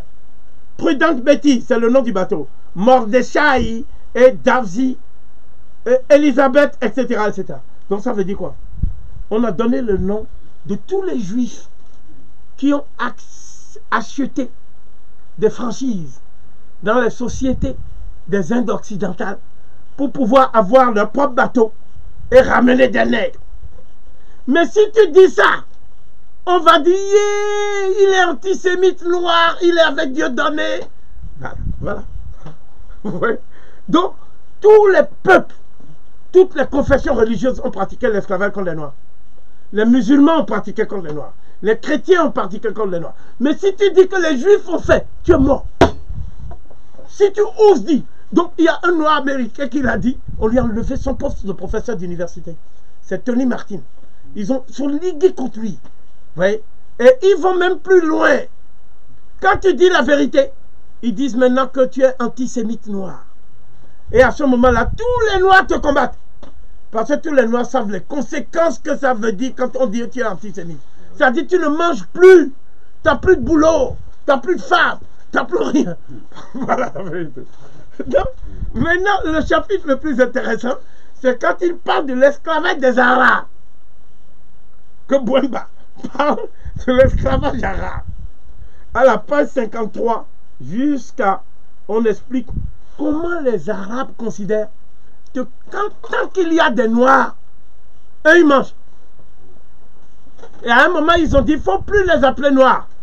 Faut les appeler Abid, égal esclave. Euh, Abid égale esclave. C'est-à-dire, tant qu'il y a des noirs, l'arabe, il mange. Le noir a été créé sur terre pour que l'arabe ne travaille pas. Que l'arabe mange sans travailler. Donc, à partir de ces considérations, nous pouvons maintenant dire que les éléments de comparaison avec l'Afrique sont donc réunis. Et ce sera donc l'objet de notre prochaine question. Quatrième question. Pourquoi et en quoi l'histoire des razzias négrières transatlantiques? Bon, l'histoire des razzias négrières transatlantiques entre guillemets est devenue une idéologie dont se sert l'Occident pour s'exonérer de ses crimes contre l'humanité du passé, mais surtout pour justifier par anticipation ce qu'il se prépare à perpétrer dans le futur. Serge Dans l'Égypte pharaonique, il y a des documents qui nous expliquent clairement. Des inscriptions hiéroglyphiques lapidaires qui nous expliquent clairement l'organisation sociale et la stratification sociale. Voici donc la stratification sociale pour aller vite. Ce n'est pas moi qui dis ça, c'est Pyrène. Pyrène.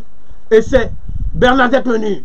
Donc j'ai pris des chercheurs européens pour qu'on ne dise pas que ce sont les disciples de Cheikh Antadion qui travestissent l'histoire. Il y a à la base de la hiérarchie de la stratification sociale deux catégories dépendantes. La première catégorie, ce sont les serviteurs domestiques. Donc on l'appelle bac quand c'est au singulier, bakou quand c'est au pluriel. Les serviteurs domestiques. Deuxièmement, il y a les séquères en coup, c'est-à-dire les vivants blessés, littéralement pharaoniques, c'est les quatre prisonniers de guerre. Bon, maintenant, je définis l'esclave. C'est quoi un esclave? Un esclave, c'est un être humain qui est réduit à l'état de bien cheptel et on peut le vendre, le tuer, le torturer à mort sans qu'on demande des comptes à son maître. Parce que c'est la société qui le permet. La société considère à travers les lois. Parce que quand on parle de l'histoire, il faut étudier euh, ce qu'on appelle les structures juridiques. Il ne faut pas parler en l'air.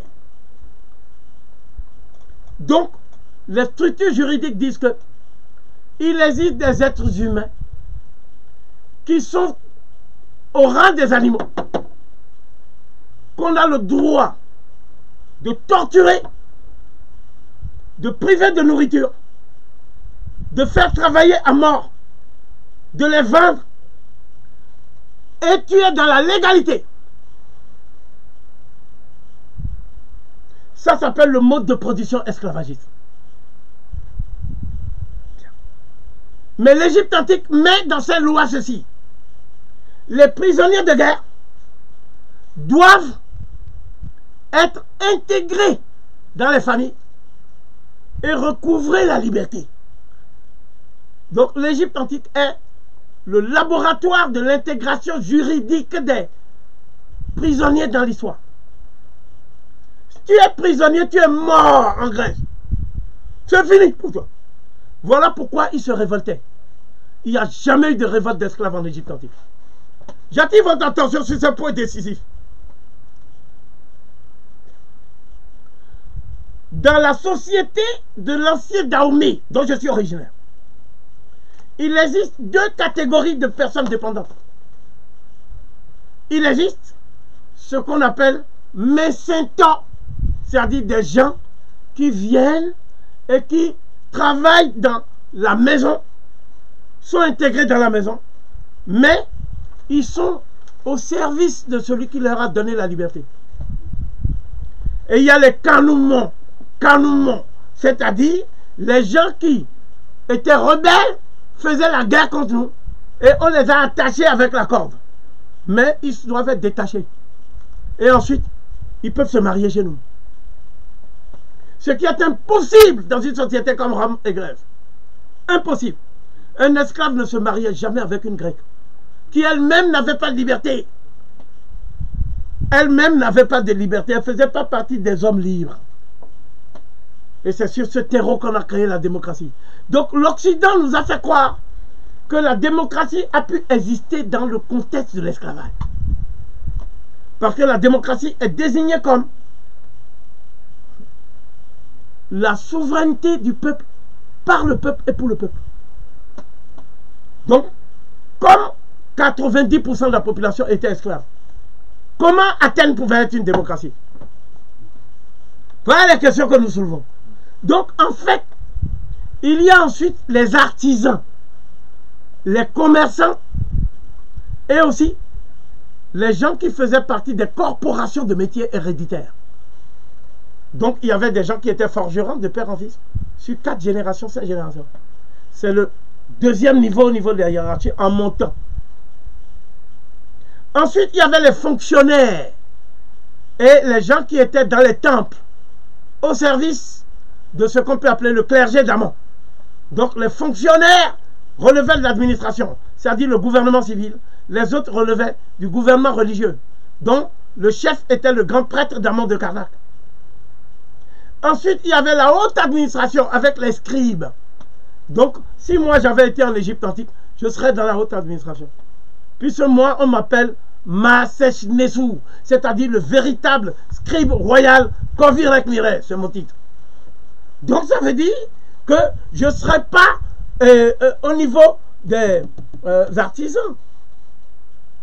Bon. Ensuite, quand tu montes maintenant, il y a ce qu'on appelle les gens qui s'occupent maintenant de la diplomatie, les gens qui s'occupent de la défense, les gens qui s'occupent de la justice, les gens qui s'occupent de la magistrature, ça s'appelle les corps constitués. Donc ceux-là, c'est eux qui gèrent l'Égypte en fait. Voilà. Et ces gens-là, le pharaon allait prêter serment devant eux. Et enfin, il y a la famille royale. Et le pharaon n'était pas un homme politique. Le pharaon était un initié supérieur qui avait pour mission d'appliquer la main. Donc il avait besoin du jati, c'est-à-dire celui qui écoutait à son oreille, celui qui a son oreille. C'est ça qu'on appelle le premier ministre. Et plus tard, on a dit le vizir, qui est un mot mésopotamien inadéquat et que, dont nous souhaitons la proscription. Donc ça veut dire que c'était une société qui était commandée par des conseils. Le conseil des femmes, c'était le pilier de l'institution. Le conseil des sages, c'est ça qu'on appelait le Sénat chez les Romains. Le conseil des jeunes, le conseil des paysans. Il y avait même le conseil des étrangers. Tu étais étranger à Rome, tu étais esclave, tu te tais.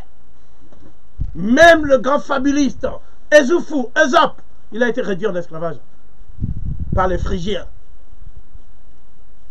Donc cela veut dire, c'était un Éthiopien. Le nègre éthiopien Ezop. Donc ça veut dire quoi? Ce que je viens de dire, ça veut dire quoi? Si tu compares à Rome, tu vas voir ce qu'on appelle une société inégalitaire. C'est ça Rome. C'est ça l'Occident. Ça a toujours été comme ça. Il n'y a pas en Égypte antique d'oligarchie. Ça veut dire quoi? Il n'y a pas un groupe d'hommes qui utilisent l'argent pour acheter les institutions. On n'achète pas la maths. Personne, aucun savant n'a pu mettre à jour une oligarchie pharaonique. Cela n'a jamais été possible dans toute l'histoire de l'investigation des sciences. Donc, si cela est vrai, l'empire de l'Éthiopie, c'était pareil. Aksum et l'Éthiopie pré-Aksumite. L'empire de Ouagadou, les Soninké, les Sarakolé, c'était pareil. L'empire du Mali, c'était pareil. J'ai pu dire au cours de mon live à partir de quel moment on a commencé à dire que le Mali est islamisé. Et à partir de ce moment-là, l'esclavage a commencé. Il n'y avait pas d'esclavage quand il y avait les rois maliens qui étaient intronisés selon les rites maliens. Pourquoi? Parce que le texte qui était à la base de la société malienne, comme tous les textes de codification juridique de la MAT dont parle Bernadette Menu, le texte est le suivant. Il date du XIIIe siècle. Donc on est loin de la Déclaration française des droits de l'homme et du citoyen qui remonte au 26 août 1789, comme vous le savez. Ici, qu'est-ce qu'on nous dit? Je lis. Toute vie humaine est une vie. Une vie n'est jamais supérieure à une autre vie.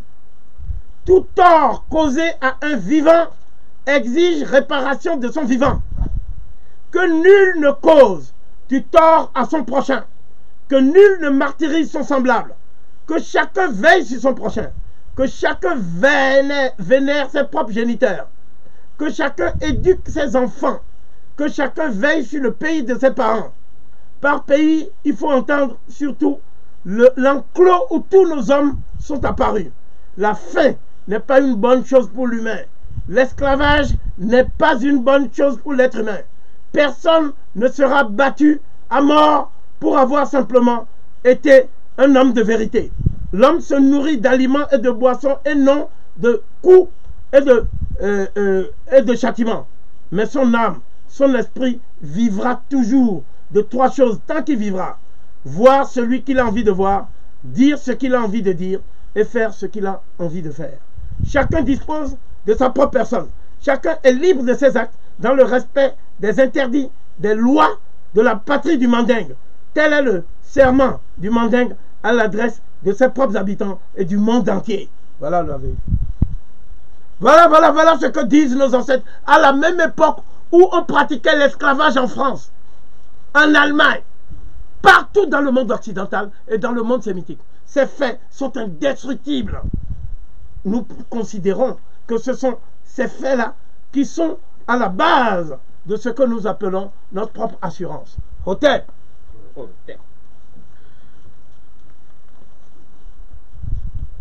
Cinquième question. L'auteur reproduit à la page 18 des extraits de l'histoire des mésaventures d'Ilanga, originaire du village Wanyendo. Que nous apprend cet épisode sur le sort des populations africaines, Serge Kovi Quand on parle de commerce triangulaire, cela suppose qu'il y ait des documents qui nous expliquent quels sont les noirs roitelets qui vendaient les noirs. Il faut des documents. Or, qu'est-ce que nous avons? En lieu et place des documents, nous avons des documents élaborés deux siècles après par des négriers. C'est ce que j'appelle maintenant les sources apologétiques élaboré a posteriori. Nous voulons des documents contemporains qui nous montrent comment nous vendions nos frères, puisqu'on n'aime pas nos frères. Cette condition élémentaire n'a jamais été remplie. Voilà pourquoi Ilanga rapporte ce qui s'est passé dans son village. Et son village s'appelle Wanyendo. parce que le chef de village s'appelait Niendo. Donc, il explique, lorsque les hommes blancs, donc voilà, nous étions occupés à biner nos plantations dans les champs, car c'était la saison des pluies et les mauvaises herbes poussaient très vite. Quand un messager est arrivé au village pour nous prévenir qu'approchait un groupe d'hommes blancs importants, que tous portaient des casquettes rouges, des vêtements bleus, des fusils de longs couteaux, et que beaucoup d'hommes blancs étaient à la tête. Niendo a tout de suite convoqué tous les chefs du village, pendant que le tam-tam appelait toute la population à la dispersion. Après une longue consultation, on nous a ordonné d'aller dans les champs et d'en rapporter les cacahuètes, des bananes, plantains et du manioc pour les guerriers qui arrivaient, ainsi que des chèvres et des volailles. Les femmes sont toutes sorties avec des paniers et les ont remplis, puis elles ont posé le tout sur la route. Lorsque les hommes blancs et leurs soldats sont arrivés, ils ont pris toutes les marchandises et à partir de là, après avoir mangé et bu, ils ont commencé à tirer sur nous avec des fusils. Ils ont provoqué des morts, des blessés. Et ils sont repartis. Lorsque les hommes blancs et leurs soldats sont repartis, les survivants sont retournés au travail en espérant qu'ils ne reviendraient plus jamais. Mais on entendit des pas et ils sont revenus. Tout comme la première fois, nous avons essayé de les dissuader de nous, tuer. Ils ont de nouveau mangé nos plats et ils ont recommencé des actes de violence. Trois ou quatre ont pénétré dans notre maison et m'ont attrapé, ainsi que mon mari Oleka et ma soeur Kitanga. Ils nous ont traînés sur la route et attachés ensemble avec des cordes autour du cou afin de nous empêcher de nous échapper. Nous pleurions tous car nous savions maintenant que nous allions être emmenés comme esclaves. Leurs soldats nous ont battus avec des bâtons de fer et leurs fusils et nous ont obligés à marcher très vite jusqu'au cas Kibalanga qui a donné l'ordre d'entraîner les femmes séparément, dit par corde, et les hommes de la même façon. Les femmes étaient violées et on nous a entraînés ensuite dans des baraquements. Nous nous sommes alors mis en marche. Ma sœur Kantinga avait son bébé dans les bras et n'était pas obligée de porter un panier. Mais mon mari, Okela, a été forcé de porter une chèvre. Nous avons marché jusqu'à l'après-midi. Nous avons campé près d'un cours d'eau et nous avons été contraints de boire car nous étions assoiffés. Nous n'avions rien à manger pendant de longues heures car les soldats ne nous donnaient rien à manger mais mangeaient toutes nos récoltes. Le lendemain, nous avons continué la marche et à la halte de midi, on nous a donné un peu de maïs et quelques bananes plantées trouvées en tas près d'un village dont la population s'était enfuie à l'arrivée des, assassins. La même chose s'est reproduite chaque jour jusqu'au cinquième jour, quand les soldats ont pris le bébé de ma soeur et l'ont jeté dans l'herbe et laissé mourir là, et ont obligé ma soeur à porter des chaudrons qu'ils avaient trouvés dans le village abandonné. Le sixième jour, à force de ne pas manger, de marcher sans relâche et de dormir dans l'herbe humide, nous étions épuisés. Et mon mari, qui marchait derrière nous avec la chèvre ne pouvait plus avancer, se tenir même debout. Alors, il s'est assis sur le bord du chemin et a refusé d'aller plus loin. Les soldats l'ont battu jusqu'au sang, mais il a persisté dans son refus. Puis l'un d'eux l'a frappé sur la tête du bout de son fusil et il est tombé par terre, mort. Un des soldats a attrapé la chèvre pendant que deux ou trois autres transperçaient mon mari avec les longs couteaux qu'ils placent au bout de leur fusil. J'ai vu le sang jaillir et puis je n'ai plus jamais revu, car nous venions de franchir le sommet d'une colline et il avait définitivement disparu de ma vue. Beaucoup des hommes jeunes ont été tués ainsi, et beaucoup de bébés jetés dans l'herbe pour y mourir de faim et de soif. Après avoir marché pendant dix jours, nous avons hanté enfin la grande eau et nous avons été transformés en pirogue dans la ville des hommes blancs à Nyangwe. Voilà. Donc voilà, voilà comment on se vendait. Nous disons ceci. Donnez-nous les documents où les Noirs se vendaient et envoyaient leurs enfants à la mort. On voit ici que c'est une femme avec son mari, des enfants qui étaient attachés, qui étaient suppliciés, tués par des Blancs. Voilà les faits. Donc il n'y aura pas d'autres faits. Et voilà pourquoi. Quand nous demandons où se trouvaient les marchés où nous vendaient les noirs, on nous dit que voici les marchés. Et là, on voit quoi? Des châteaux forts. Les châteaux forts sont des citadelles de guerre qui sont faites par les Blancs pour se mettre à l'abri. Une fois qu'ils ont fait des exactions le jour, la nuit, ils sont dans les châteaux forts. Et ils créent des endroits où ils mettent les prisonniers sans les nourrir dans les châteaux forts jusqu'à ce que le prochain bateau arrive pour les emmener. Voilà ce que l'Europe a fait. Donc, toute tentative de falsifier l'histoire est vouée à l'échec. Maintenant, les Européens ont fait quelque chose. Ils ont violé les femmes noires. Et les femmes noires ont accouché de métis. Et ces métis, les Européens les ont mis comme une arme entre eux-mêmes et les femmes qu'ils ont violées et les peuples africains.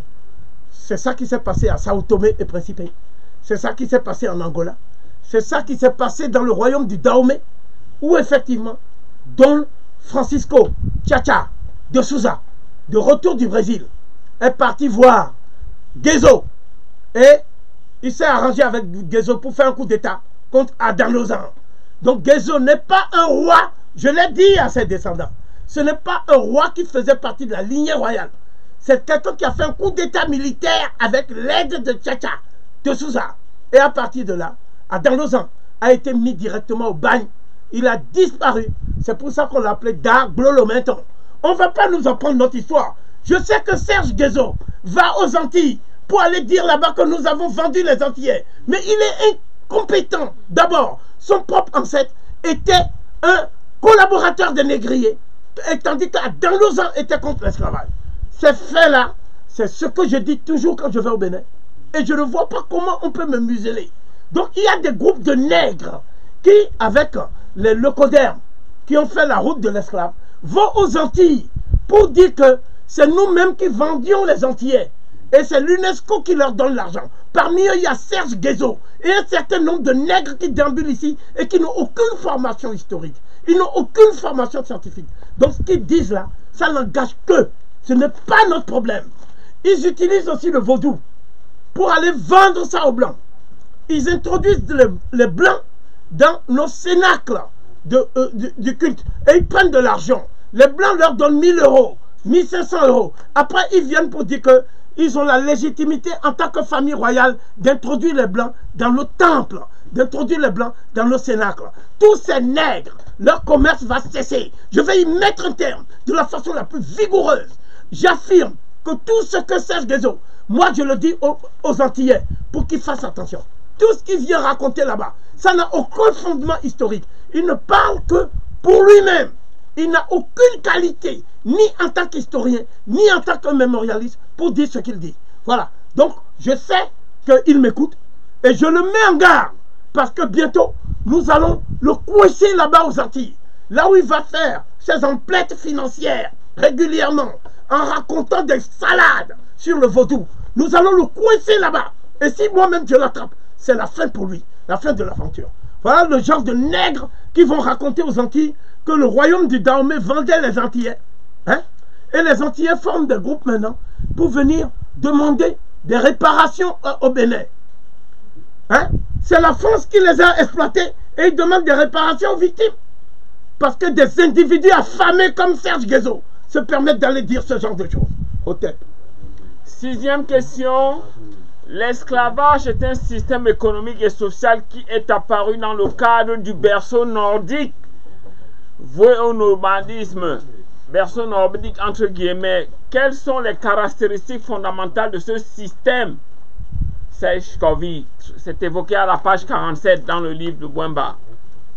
Dans le cas d'espèce qui nous intéresse, il y a deux types d'esclavage. Il y a l'esclavage européen et l'esclavage sémitique. C'est ça que j'appelle l'esclavage des blancs par les blancs. Il y a maintenant la traite des nègres. À ne pas confondre avec l'esclavage. La traite des nègres, ce n'est pas l'esclavage. Il y a des noirs qui font la confusion. Euh, parce qu'ils ne connaissent pas. Ce n'est pas leur faute.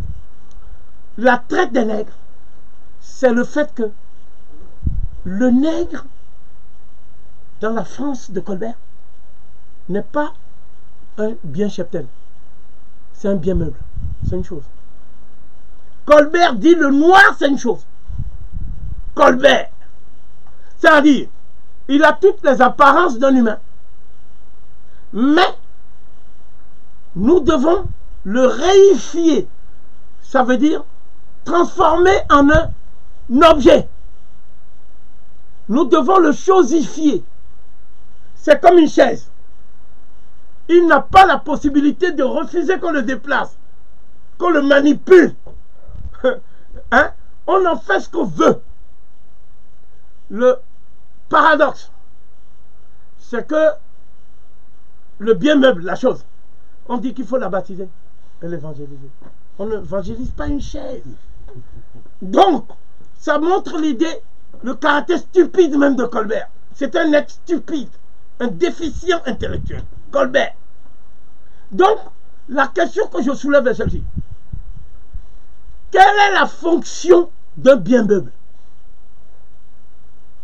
Le blanc dit que le bien cheptel, c'est que l'homme blanc, pour pouvoir travailler, il faut régénérer sa force de travail. Donc il y a deux choses qu'il faut faire. Il faut lui donner à manger. Il faut le soigner s'il est malade. Le nègre n'a pas droit à ça. C'est un meuble. Un meuble n'a pas faim. Un meuble n'est pas malade. Donc, il s'est passé quelque chose que le blanc n'a jamais subi. Même esclave. C'est que le noir a subi un choc émotionnel violent. C'est-à-dire, il a été traité comme une chose. Le blanc a été traité comme un animal, mais pas comme une chose. Le blanc, s'il a faim, il dit, j'ai faim.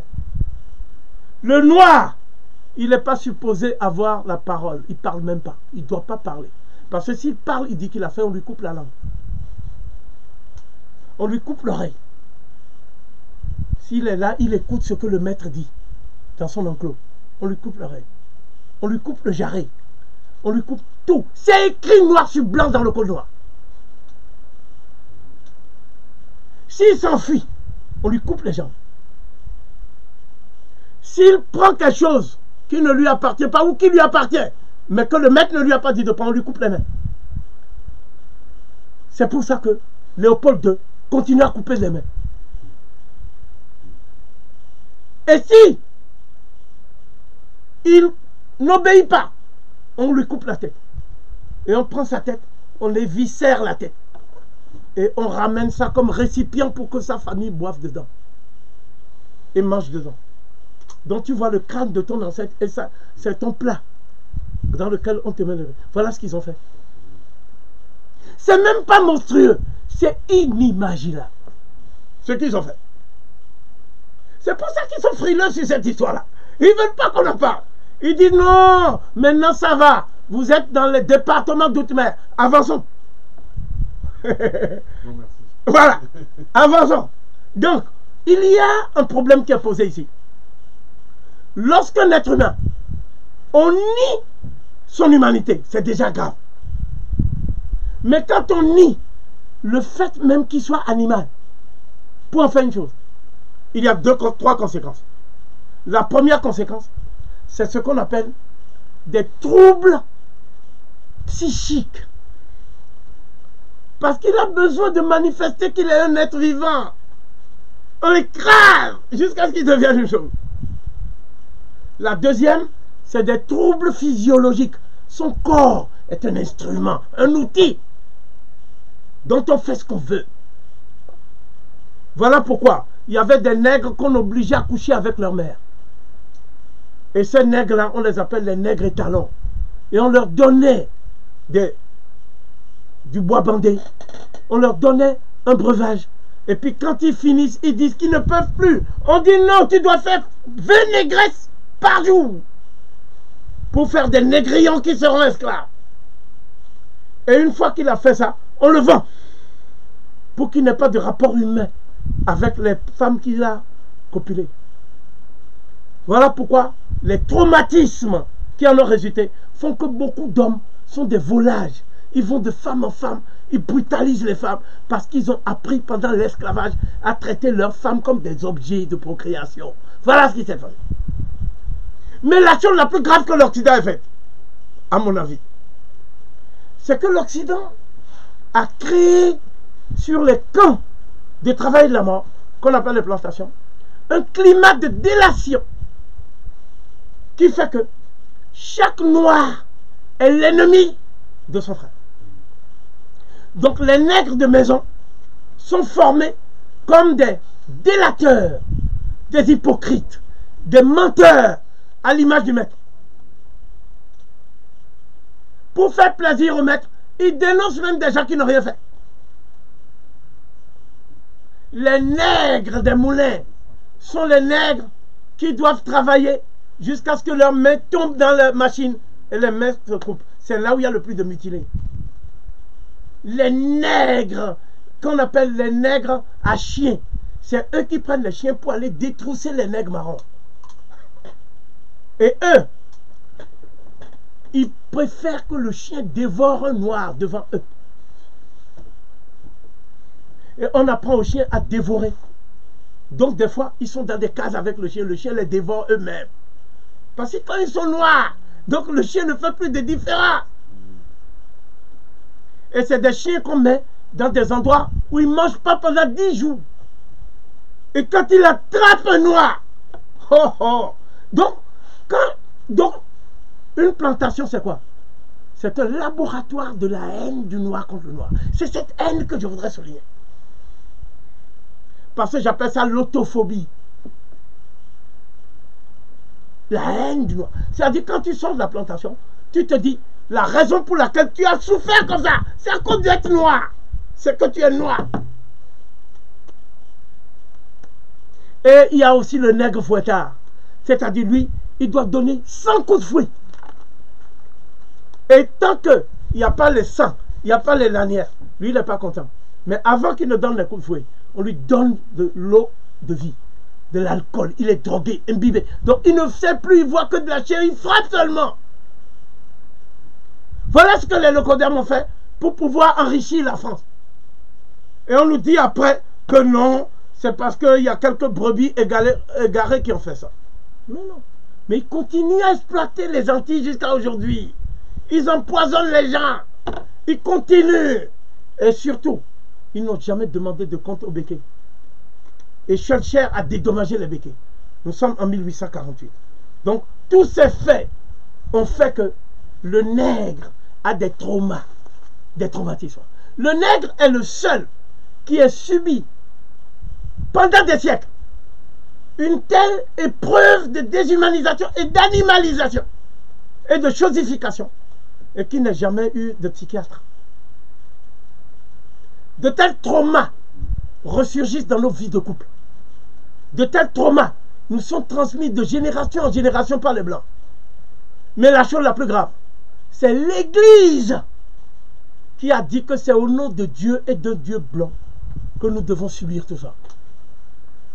Et il y a même des Noirs qui ont dit que ils sont heureux d'avoir été esclaves. Parce que grâce à ça, ils savent au moins que le maître va leur montrer une attention en les fouettant, en les insultant, en crachant sur eux, tout ça. Parce qu'au moins, on recherche la reconnaissance du maître par la punition. C'est ça qu'on appelle le masochisme. C'est ce qu'a théorisé Sader Mazoch. Mais des noirs aussi. On leur a appris à prendre du plaisir à humilier et à taper des noirs. C'est ça qui donne le sadisme. Mais dans tous les cas, un noir qui ose regarder en face un blanc et répliquer, c'est-à-dire mettre en cause l'ordre de l'esclavagisme, on lâche des meutes de noirs sur lui. C'est ça qu'on appelle le lynchage. Celui qui a théorisé ça, c'est Willy Lynch. Donc tout ça, masochisme, sadisme, lynchage, Tout ça, c'est ce que nous avons appris à l'école des camps de la mort et du travail que les Blancs ont instauré aux États-Unis, au Brésil, en France, au Portugal, en Espagne, et je vais même plus loin maintenant. Le monde entier dit que le noir est né pour être esclave. Vous allez en Asie, c'est ce qu'on dit. Vous allez partout. Partout où le noir est, il est présumé esclave. Le déficit d'image qui touche le noir dans le monde est dû à l'esclavage. Et à la traite des nègres dans une très large mesure. Septième question. Quelles conséquences les rapes par la violence et la ruse opérées par les négriers européens avaient sur la déstructuration, voire le démembrement des royaumes et empires africains, Serge Il va de soi. Page 93. Il va de soi que la traite négrière a eu trois autres conséquences sur lesquelles nous ne nous attardons pas et c'est dommage. Il y a ce qu'on appelle l'ethnocide. C'est quoi l'ethnocide? C'est le génocide culturel. C'est-à-dire la traite négrière s'est accompagnée de la destruction de la culture des peuples. Et ces peuples ont perdu jusqu'à l'usage de leur langue, leurs coutumes, leur spiritualité. Tout ça a été détruit. Et cela a donné quoi? Cela a donné un phénomène qu'on appelle hybridation. C'est-à-dire que c'est une culture folklorique maintenant qui est la culture du blanc, mais avec quelques démonstrations carnavalesques où le noir danse. Le noir fait le bamboula. Donc voilà ce qu'ils ont fait. C'est-à-dire, alors qu'est-ce qu'ils appellent ça? Non. Ils appellent ça les cultures métissées. C'est du génocide culturel qu'ils appellent des cultures métissées.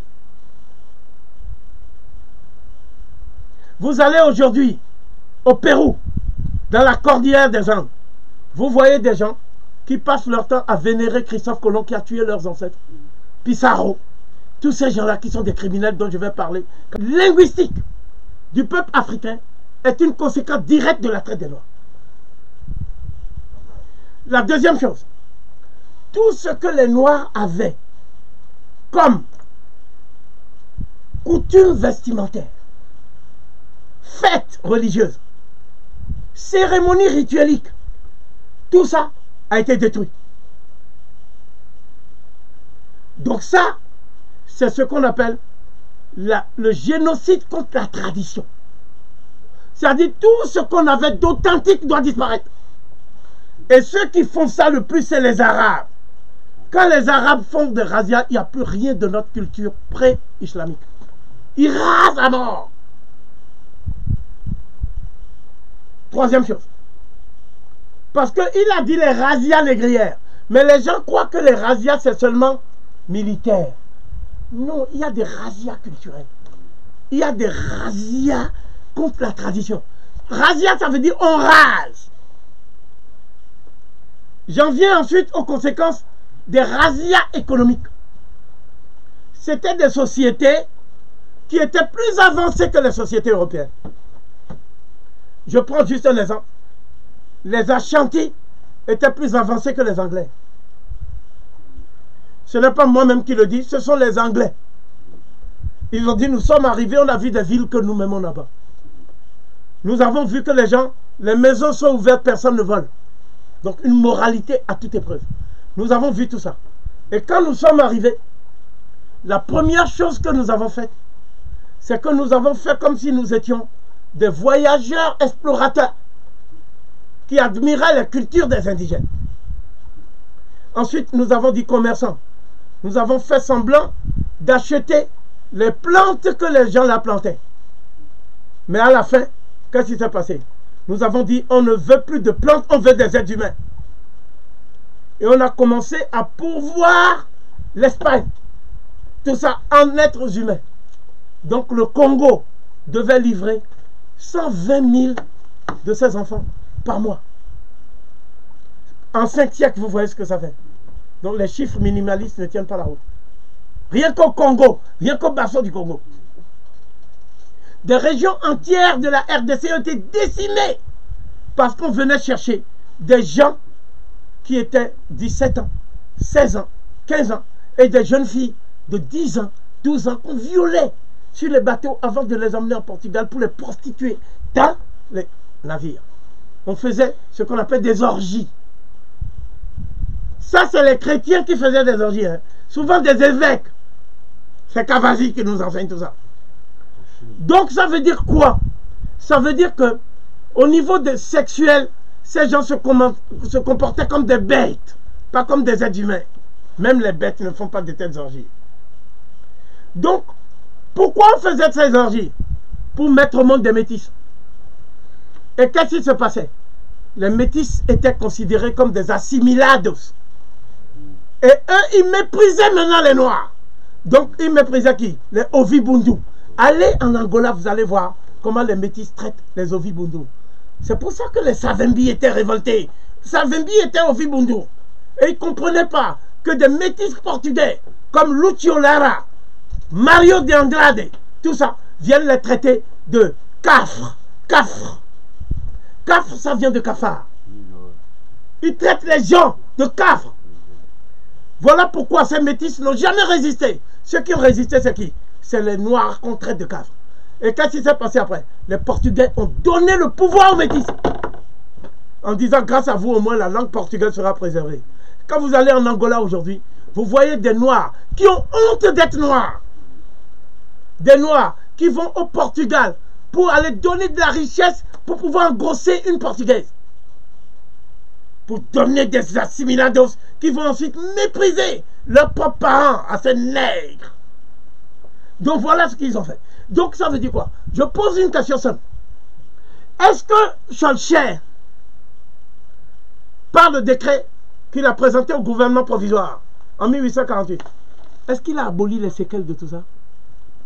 On a dit abolition. C'est quoi abolition? Parce que jusqu'à présent, les nègres ne savent pas ça. L'abolition, c'est un décret juridique qu'on présente lorsqu'on sait déjà qu'on a perdu les colonies. Donc pour éviter que les Guadeloupéens ne fassent pareil qu'Haïti, que les Martiniquais ne fassent pareil qu'Haïti, on fait un décret. Et ce décret permet de dédommager tous les esclavagistes. Mais est-ce que ce décret a permis de dédommager un seul esclave Jamais. Donc c'est qui chercheur? C'est un ancien colonial qui est entré dans la franc-maçonnerie, qui a compris que la franc-maçonnerie a des intérêts dans le système esclavagiste. Mais le système esclavagiste tel qu'il était maintenu entraînait des révoltes d'esclaves. Donc il fallait faire une mutation dans le système qu'on appelle la colonisation. Schulcher était pour la colonisation. Voilà. Donc les Wilberforce, les Granville Sharp, tout ça, c'était des Anglais qui étaient pour la colonisation. Donc c'est la mutation du système esclavagiste en système colonial. C'est ça qui leur a permis de s'enrichir. Et à partir de là maintenant, l'argent qu'ils ont pris dans la traite négrière, ils ont investi ça dans le machinisme pour faire maintenant l'industrialisation de l'Angleterre, l'industrialisation de la France et tout ça. Pendant ce temps, ils détruisaient les bases de l'économie africaine. Voilà pourquoi les Africains qui produisaient des cultures vivrières qui leur permettent de ne connaître jamais de famine, le mil, le sorgho, tout ça, ils se sont vus obligés par le travail forcé, ce qu'on appelle la spécialisation dans les monocultures d'exportation, de produire maintenant du café, du cacao, du tabac, du coton, des choses que eux ils ne consomment pas.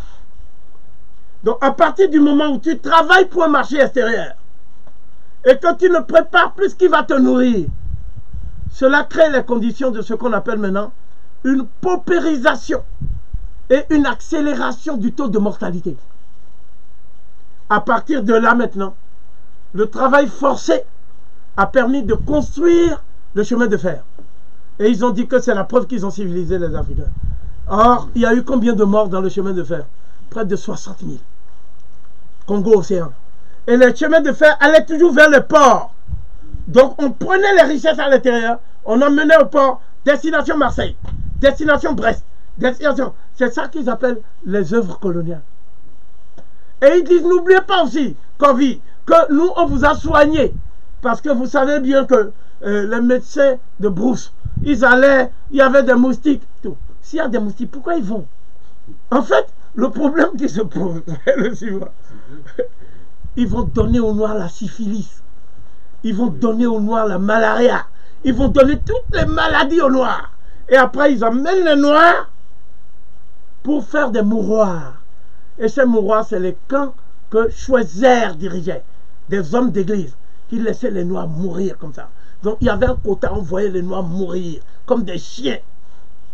Et après, on faisait quoi? La chasse aux tradis patriciens, nos guérisseurs, qui pouvaient nous aider à survivre. On les tuait tous ou on les déportait. On les envoyait en Haïti, on les envoyait au Brésil, on les envoyait... Et là-bas, eux, ils fomentaient une autre révolte. C'est ça qui s'est passé. Donc ce processus-là, l'Africain doit comprendre une chose.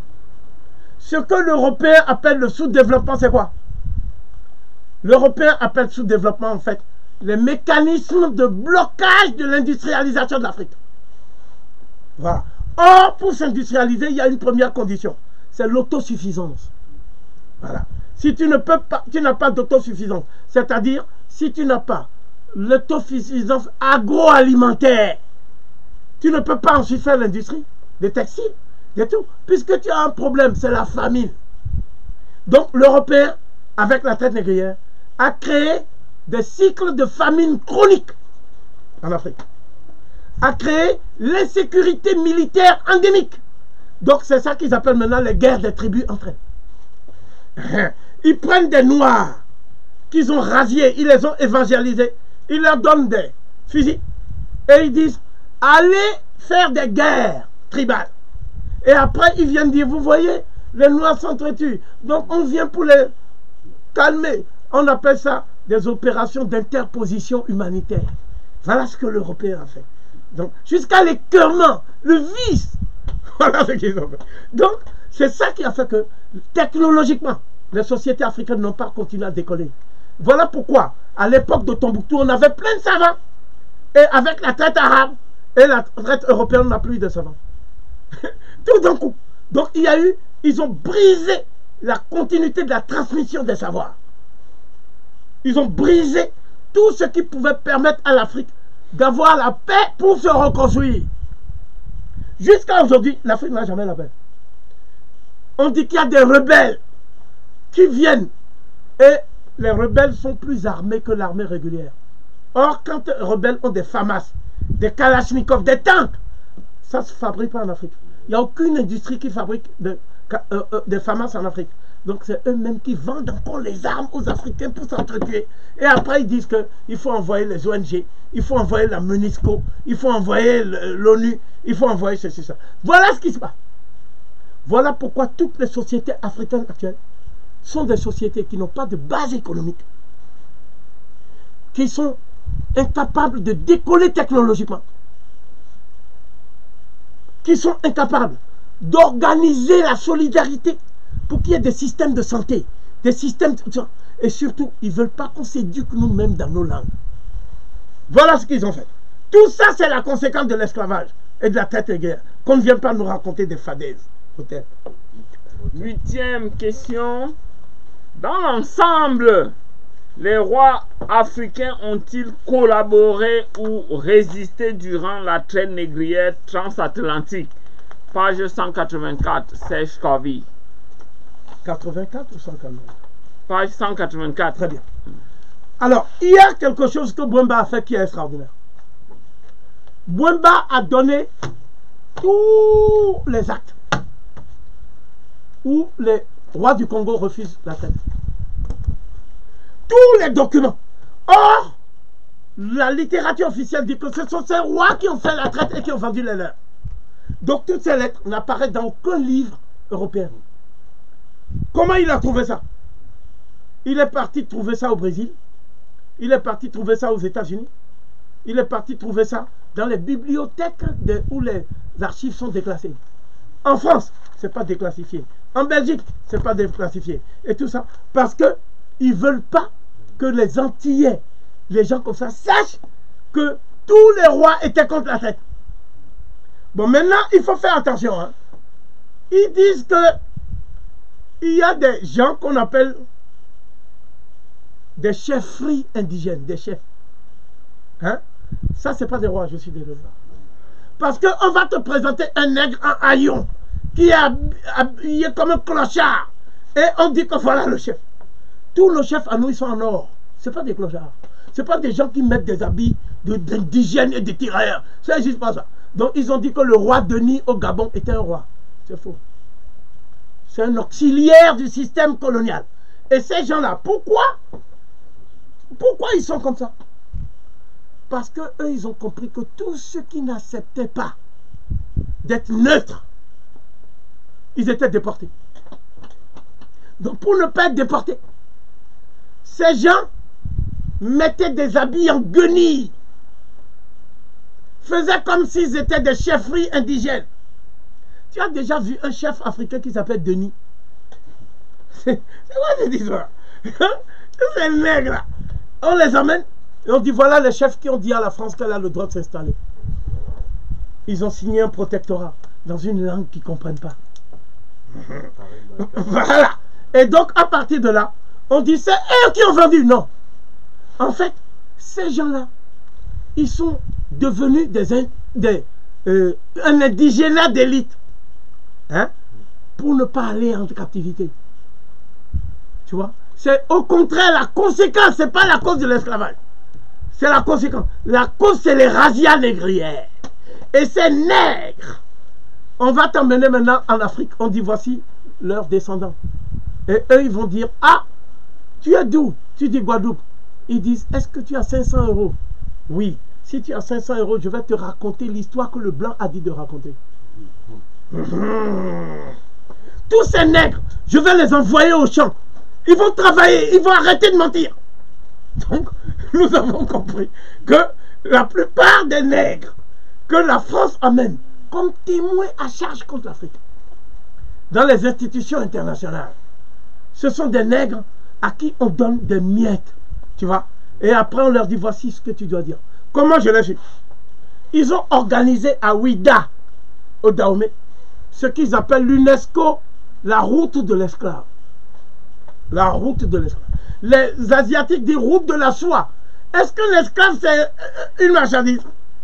Donc l'UNESCO a pris l'argent aux pays africains. Donc Bongo a beaucoup donné. Hein? Le président du Congo, tout ça, ils arrivent là-bas. Nous faisons des réunions ici à l'UNESCO. Donc je dis que personne ne peut dire que les Noirs ont vendu les Noirs. Donc tous ceux qui disaient ça se taisent quand j'arrive. Il y a même un, je lui ai dit, toi tu as dit ça la dernière fois, répète. Et donc lui il a dit non, il n'a pas dit ça. Que ce qu'il a voulu dire, c'est que les Blancs sont venus et ils ont forcé les gens à mentir. Et lui, il rapporte les mensonges, mais il ne prend pas ça à son compte. Je dis, répète. Après, il est parti dire aux gens qu'il a eu peur. Parce que le noir là est violent. Je dis, répète, il y avait à côté Mbokolo. Tous les menteurs se sont tués. Et j'ai parlé pendant deux heures. Et quand j'ai fini, il y a un blanc qui a dit non.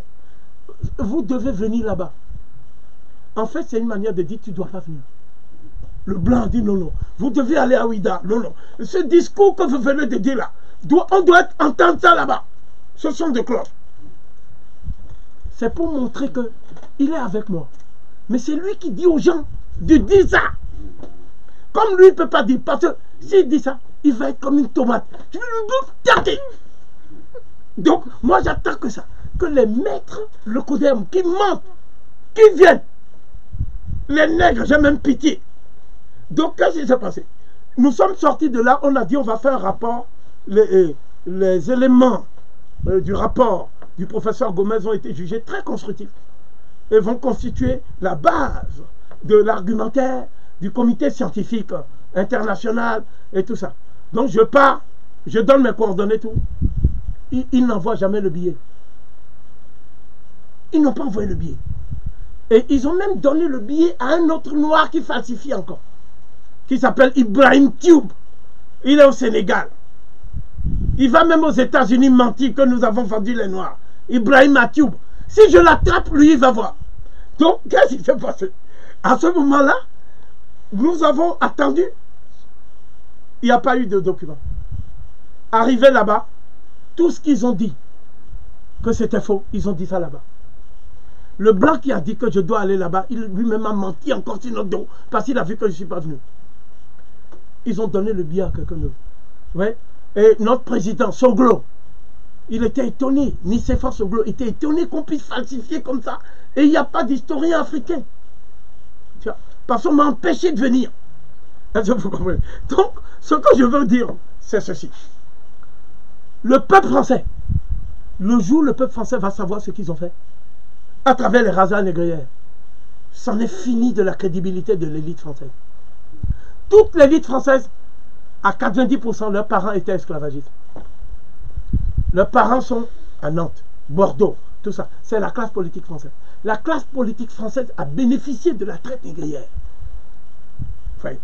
Donc le temps me manque pour en parler.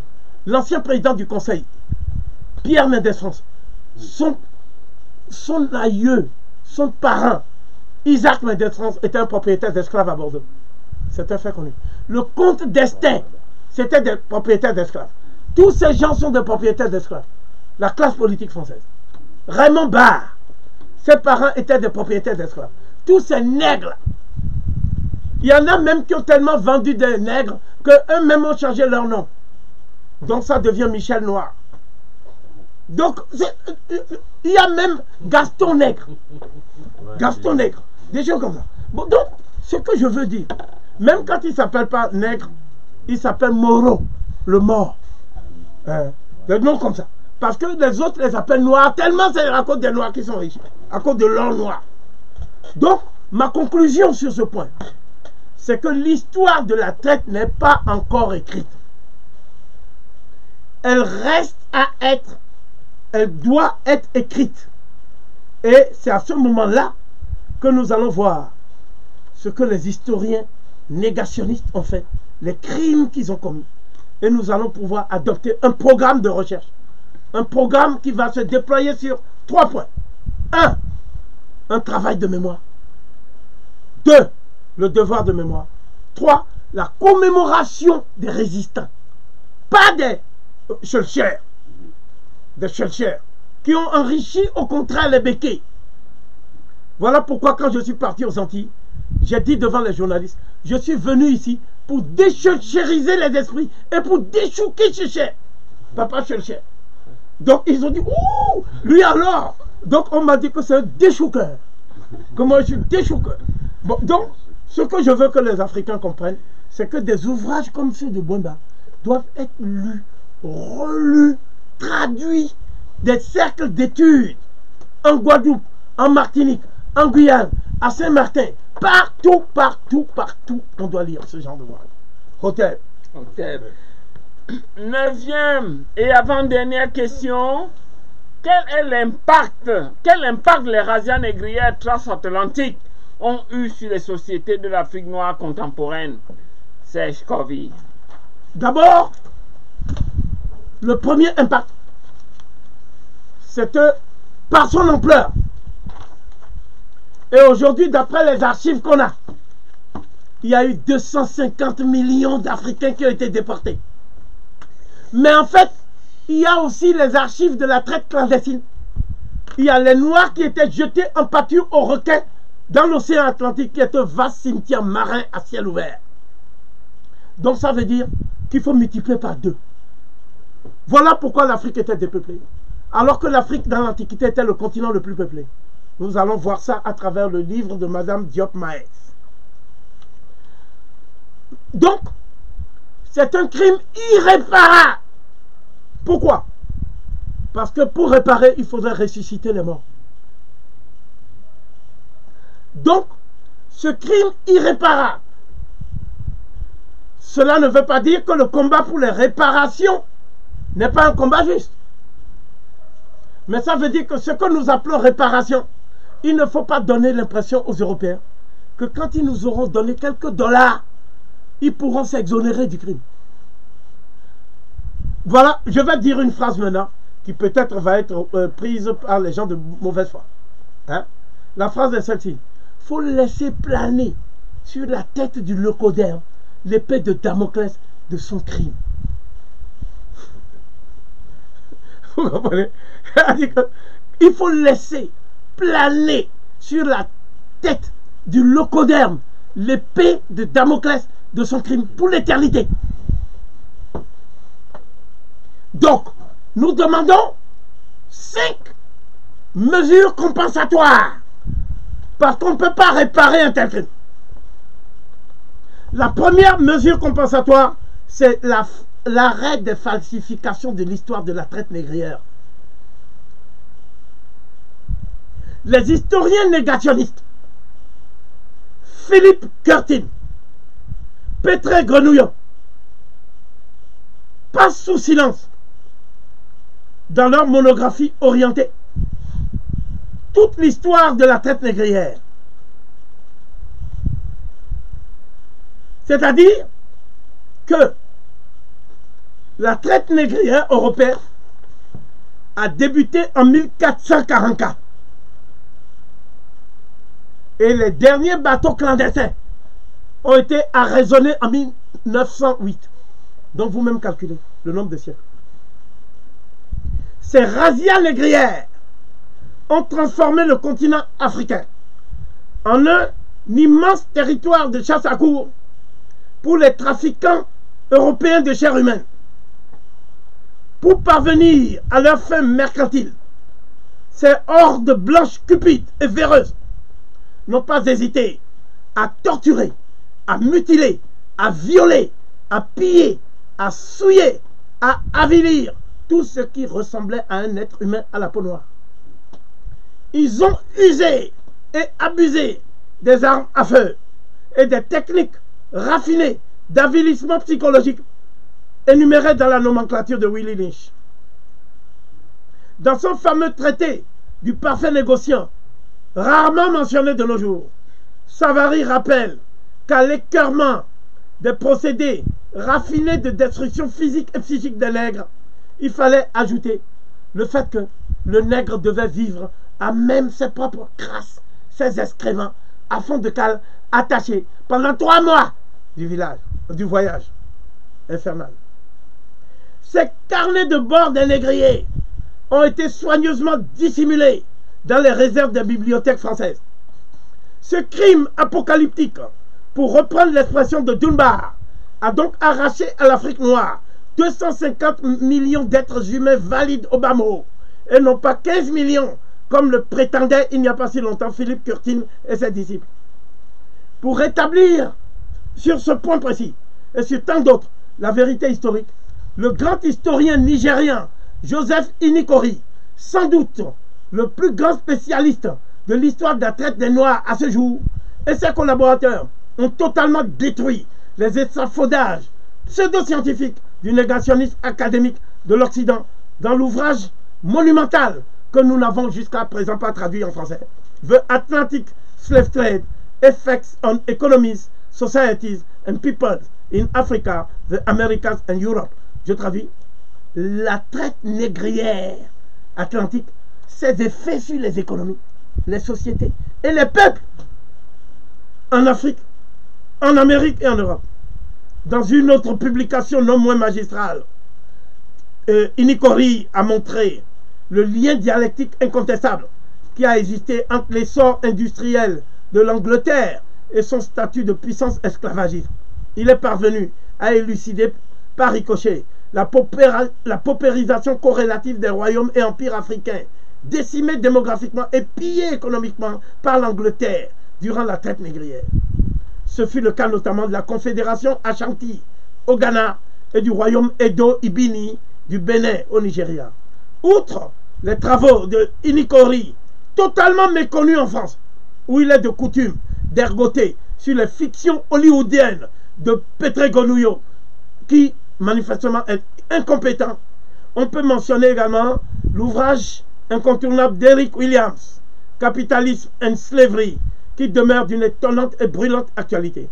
Mentionnons à titre indicatif également l'essai du génial Walter Rodney, How Europe Underdeveloped Africa, sans oublier son célèbre article African Slavery and Other Forms of Social Oppression on the Upper Guinea Coast in the Context of the Atlantic Slave Trade. paru en 1966 dans Journal of African History. L'enjeu capital de tous ces travaux scientifiques majeurs, mais volontairement méconnus par l'historiographie de la traite négrière transatlantique, c'est la reconstitution sur des bases rigoureusement scientifiques du processus global de la destruction des civilisations africaines par les nations européennes coalisées, comme le suggérait déjà le génial érudit Chancellor Williams dans son chef-d'œuvre intitulé The Destruction of a Black Civilization. Il nous faut donc retracer maillon par maillon la chaîne de commandement des acteurs principaux de la traite négrière européenne, et ce, conformément à la théorie de la causalité historique, qui seule, à notre avis, permettra de situer sans passion les responsabilités des uns et des autres dans cette épouvantable tragédie. Donc, il faut également, c'est le deuxième aspect, que les sociétés africaines actuelles, on étudie scientifiquement à quel moment il y a eu une régression technologique et scientifique. C'est-à-dire à partir de quel moment des universités comme Tombouctou, des universités ont été détruites et la transmission de la science n'a plus été possible.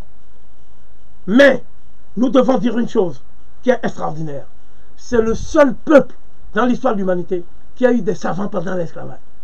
Le peuple noir. C'est le seul peuple. Ça veut dire que même dans les contextes de déshumanisation, il y a eu les euh, euh, Lewis Latimer, Washington Garver, tous ces gens-là qui ont continué à apporter la science. Et le déshonneur des Européens, c'est de dire, comme ils n'étaient pas libres, leur science ne leur appartient pas non plus. Donc on a pris leur science, on a attribué à des blancs, comme Edison, et on a volé les brevets, ce qui a enrichi encore les esclavagistes au détriment de ces noirs, qui ont perpétué la tradition africaine en plein esclavage. Troisième chose, il faut que les familles des Antilles retrouvent leur généalogie. Il n'y a pas de peuple né sous X. Tous les Antillais, leur généalogie se trouve actuellement dans deux choses. Un, les archives que cache la France. Même l'Angleterre ne cache pas ça. Et les tests ADN. Il n'y a pas de peuple né sous X. C'est à Vincennes qu'ils ont toutes les archives des Antillais. Jean-Louis, nègre de la nation Ardra. Ça veut dire quoi? Jean-Louis, nègre qui a été arraché à Lada. Idorine, négresse de la nation Kalabari. Ça veut dire quoi? Idorine, négresse arrachée à la nation Calabar du Nigeria. Mexin, petit crépin, nègre de la nation Jolof. Ça veut dire quoi? C'est un Wolof. Donc tout ça, c'est caché par la France. Parce que la France sait très bien que si on sait d'où ils sont venus en Afrique, à partir de là, on peut voir pourquoi on leur a donné des faux noms. On a donné à des gens des noms comme Moru. Hein? On a donné à des gens des noms comme Vérol. On a donné à des gens des noms comme Madame euh, Pétasse. On a donné des noms comme excrément. On a donné des noms comme ça à des êtres humains. Mais quand on ne leur donne pas des noms dégradants comme ça, on donne le nom du maître. Comme si c'était un vulgaire animal domestique. Voilà ce, que, l'Europe a fait. Donc nous devons faire ce qu'on appelle un rétablissement de la généalogie historique de tous les peuples de la Caraïbe. À partir de nos ancêtres africains. On doit généraliser, à défaut, tous les tests ADN. Cela, c'est l'urgence. Il n'y a pas de peuple né sous X. C'est un traumatisme de ne pas savoir d'où on est venu. Pendant ce temps, la France elle-même renie ces peuples. ceux qui sont les plus tristes, ce sont ceux qui croient que c'est grâce à l'esclavage qu'ils ont eu le métissage. Et qu'ils ont la peau plus claire, ce qui leur confère un avantage psychologique. Moi, je dis que, et je l'ai dit devant Serge Romana, c'est l'apologie du viol.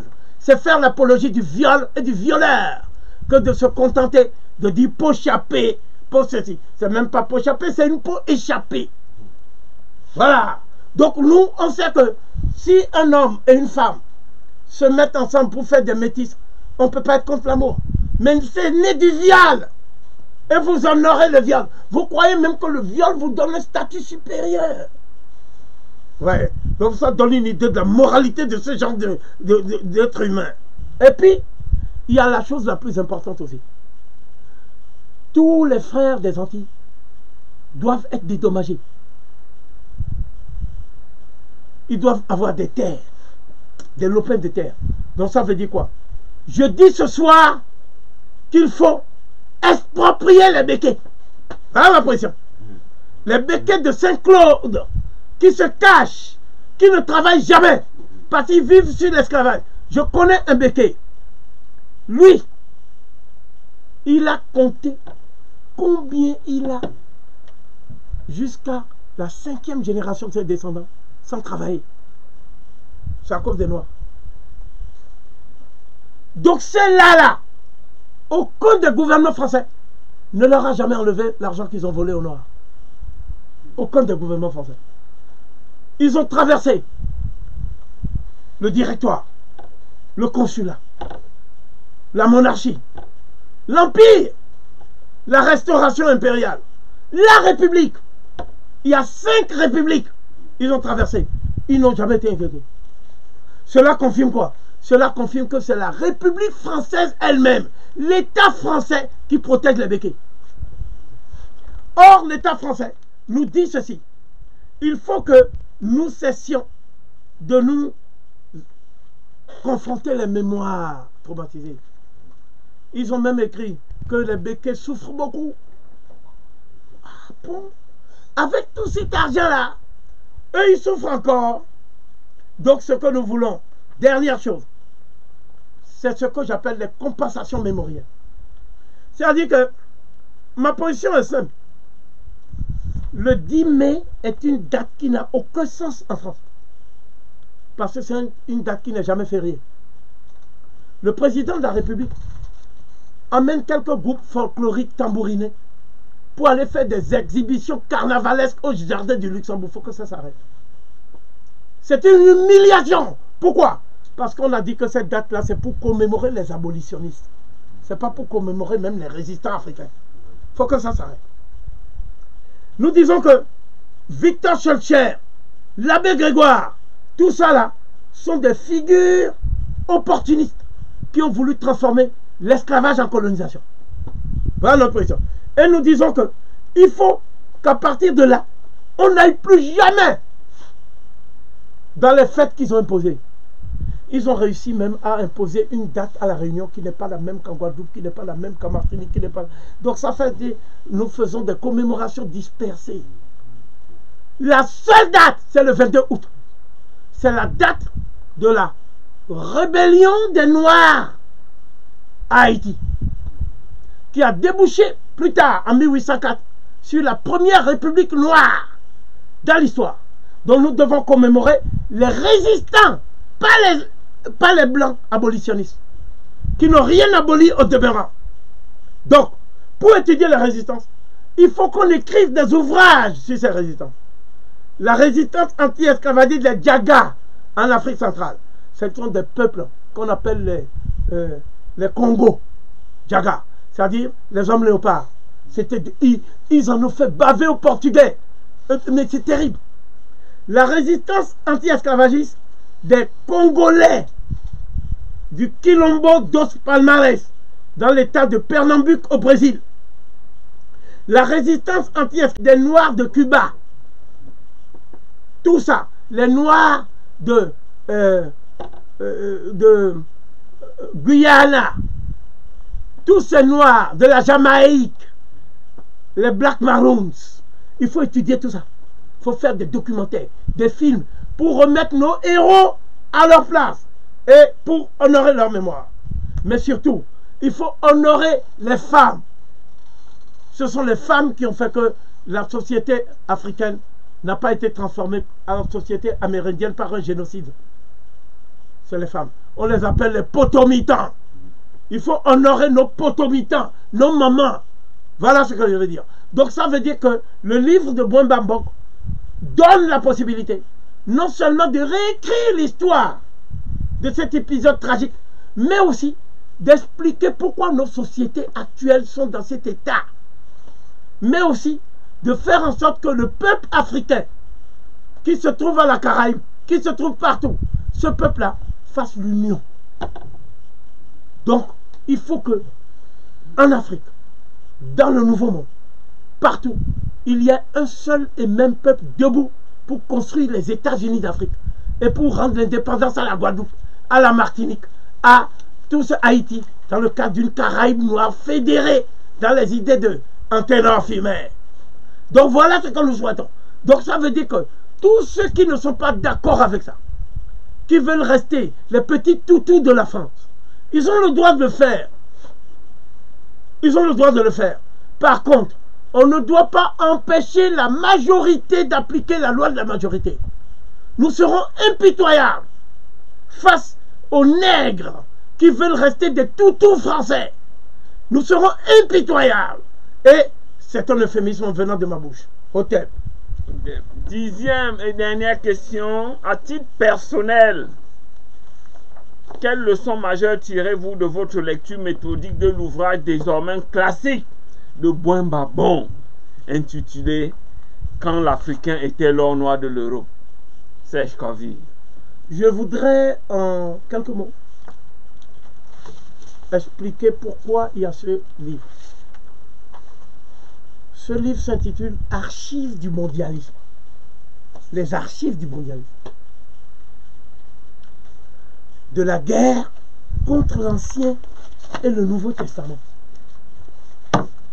C'est le lien entre le livre de Fassassi, le péché du pape contre l'Afrique, et le livre de Bombabon, quand l'Africain était l'or noir de l'Europe. Parce que toute l'idée de pratiquer la traite négrière est venue de ces deux livres-là, l'Ancien et le Nouveau Testament. L'idée, l'idée. C'est cette idée qui a poussé les tenants de ces deux livres, qui sont des manuels de guerre, au service des institutions que sont l'Église, mais aussi de ceux qui ont génocidé les Cananéens au nom de l'éternel des armées. Donc on dit toujours la armée, leurs dieux sont toujours des dieux en armes. C'est pas pour rien. Donc les territoires qu'on a conquis au nom de ces dieux enragés et armés, ces territoires sont les territoires des Amérindiens, des Africains, des Asiatiques et des Océaniens. Et cela s'est fait pour le compte de l'Europe. Bien sûr, on va me dire, mais est-ce que c'est tous les Européens? Bon, voici ma réponse. Parce que ce qu'on veut dire par là, c'est que s'il y a un seul Européen qui dit qu'il aime les nègres, donc qui est négrophile, ça dédouane tous les autres qui sont négrophobes. Non. Le problème, c'est pas ça. C'est pourquoi tous ces Européens dont on parle, qui aiment tant les nègres, qui aiment les concerts de Johnny Clegg, les concerts... Pourquoi tous ces Européens ne se sont pas révoltés pour dire qu'il faut cesser d'exploiter l'Afrique? Pourquoi ils acceptent quand ça leur permet d'avoir la sécurité sociale, d'avoir un niveau de classe moyenne, d'avoir ceci, et après ils disent, oh, les pauvres nègres, ils ont été laissés sur le carreau et nous en souffrons beaucoup, nous les bonnes âmes d'Europe. Et il y a des Noirs qui croient que c'est eux qui vont nous aider à nous en sortir. Suprême naïveté. Donc, quel est le problème? Le problème est le suivant. Je ne vais pas, bien sûr, décliner tout ça. Donc, on explique comment nous avons été décimés par l'Ancien Testament et le Nouveau.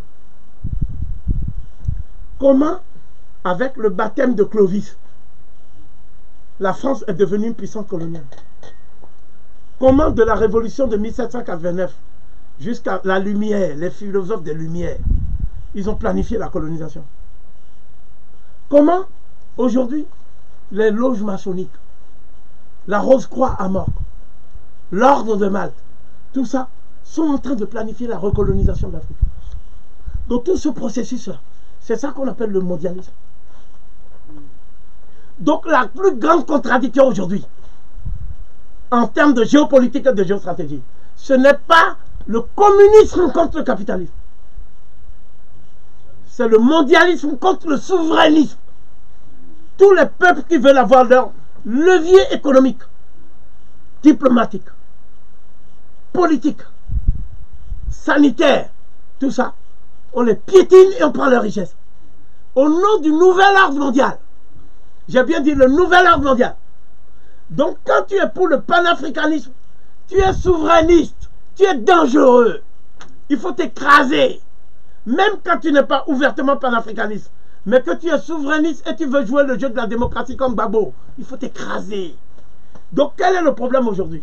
Le problème aujourd'hui, c'est que le président français dit que il y a un seuil au-delà duquel il sera sévère par rapport à l'invasion de la France par les immigrés d'Afrique. Que non, parce que ce serait faire le lit de l'extrême droite et des populismes que de laisser tous ces nègres déambuler. Bien, le président français sait que, de par les rapports qu'ils ont avec l'Afrique, quiconque sème la colonisation récolte l'immigration. Et même, ce n'est pas l'immigration qui récolte maintenant. Ils font la guerre économique. Et en plus, les rébellions. Donc, les gens sont obligés de fuir parce qu'ils disent que c'est ici en Europe qu'ils sont en train de construire la paix. Donc, on fuit là où il y a la paix. On m'a demandé, Kovi, est-ce que tu es d'accord pour l'immigration? J'ai dit non. Je suis contre l'immigration choisie. On dit, mais c'est quoi ça? J'ai dit non. Parce que l'immigration choisie, c'est la traite de la matière grise africaine. On ramène des Noirs pour les sous-payer ici. Au lieu de créer les conditions pour que les ressources du Gabon, du Congo, servent à ce que ces Noirs créent des laboratoires, créent des entreprises, etc. C'est ça la source de l'immigration. Et ils disent maintenant qu'ils sont menacés du grand remplacement. Que bientôt la France sera toute noire. Eh bien, je vais dire quelque chose maintenant. Je souhaite que la France soit une marée noire démographique. Parce que tu ne peux pas dire que tu es pour le métissage et dire que tu es contre le fait qu'il y ait des noirs. On va se métisser avec qui? Vous allez faire l'inceste? Donc les nègres n'ont qu'à venir. D'abord, comme je dis souvent, nous sommes prêts à négocier avec le président français. pour que les nègres rentrent et pour qu'on fasse venir ici les colons noirs. Voilà. Qu'on les fasse venir, c'est des bons à rien pour l'Afrique. Et on amène les Africains antillais, américains qui veulent aller repeupler l'Afrique et apporter des richesses. Ça, c'est les idées de Garvey. Sinon, la France va connaître le tourment des gilets noirs après avoir connu la bourrasque des gilets jaunes. Le tsunami des gilets noirs. Donc, moi-même, je vais être à la tête des gilets noirs parce que nous, ne pouvons, nous souffrons tous ici. Quand il fait froid, il fait très froid. Quand il fait chaud, c'est la canicule. On est fatigué, on ne respire même pas. Donc, ce que nous voulons, c'est que nous allions chez nous. En fait, on s'accroche pas à la France. Comme un naufragé s'accroche à un serpent pour atteindre l'autre rive. Non, non. Nous voulons construire l'Afrique. Dans toutes les marches là. La France, nous ne voulons pas la mettre à genoux. Nous voulons tout simplement qu'elle enlève son genou du cou de l'Afrique. C'est ça Floyd. C'est Floyd ou flop. Nous, on veut qu'on aille en Afrique. Nous, on veut la révolution noire mondiale préconisée par X. Ça sert à quoi de déboulonner une statue à Paris Quand en Afrique, tu ne peux même pas manifester ta colère. Quand tu ne peux même pas créer une industrie. Quand tu ne peux même pas créer une entreprise. Tu ne peux rien faire, il n'y a que des Libanais là-bas. D'ailleurs, c'est le lieu de dire ma compassion au Liban. Mais ils n'ont qu'à aussi cesser de battre les filles africaines, de les traumatiser, les Libanais aussi. La nature se venge, les explosifs, tout, tout, tout. Donc, ce que je voudrais dire pour finir, c'est ceci. Donc, cher Anta il nous a permis de résoudre les trois problèmes qui étaient en suspens dans le cadre de l'histoire générale de l'humanité. Le premier problème, c'est l'origine africaine de l'humanité et de la civilisation depuis la préhistoire. Il faut rétablir ce fait-là. Deuxièmement, l'origine égypto-nubienne des sciences, des lettres, des arts, de l'architecture, etc. Troisièmement, le rôle que la traite négrière et le génocide des Amérindiens ont joué dans l'essor technologique, économique et industriel de l'Europe et la transformation des pays africains en colonies, puis aujourd'hui en néocolonie, insolvables, faillies, détruites. Il faut que tout cela, la conscience humaine puisse l'intégrer. Donc, cher Anta Diop nous dit, et c'est sur cela que je vais finir, cher Anta Diop nous dit que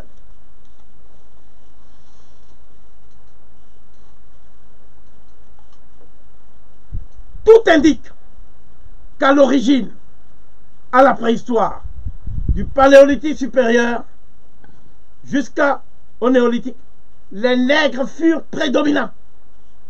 Ils le sont restés aux temps historiques pendant des millénaires sur le plan de la civilisation, de la suprématie technique et militaire. Tout esprit qui n'est plus capable de recevoir cette idée, même si elle est objectivement démontrée, ne peut présentement rien apporter de durable à la science historique. Toute conscience qui est devenue par principe inapte à l'assimiler est rétrograde, quelle que soit l'idée qu'elle se fait d'elle-même, et son aptitude à contribuer au progrès réel de la conscience morale de l'humanité pourrait en être fort limitée. La science historique elle-même ne fournira sur le passé toute la lumière qu'on peut attendre d'elle qu'à partir du moment où elle intégrera dans ses synthèses la composante nègre de l'humanité dans une proportion en rapport avec le rôle que celle-ci a vraiment joué dans l'histoire. Certains esprits généreux croient que la solution consiste à reconnaître d'emblée l'égalité intellectuelle aux Noirs et à expliquer par la suite leur retard par un déterminisme géographique.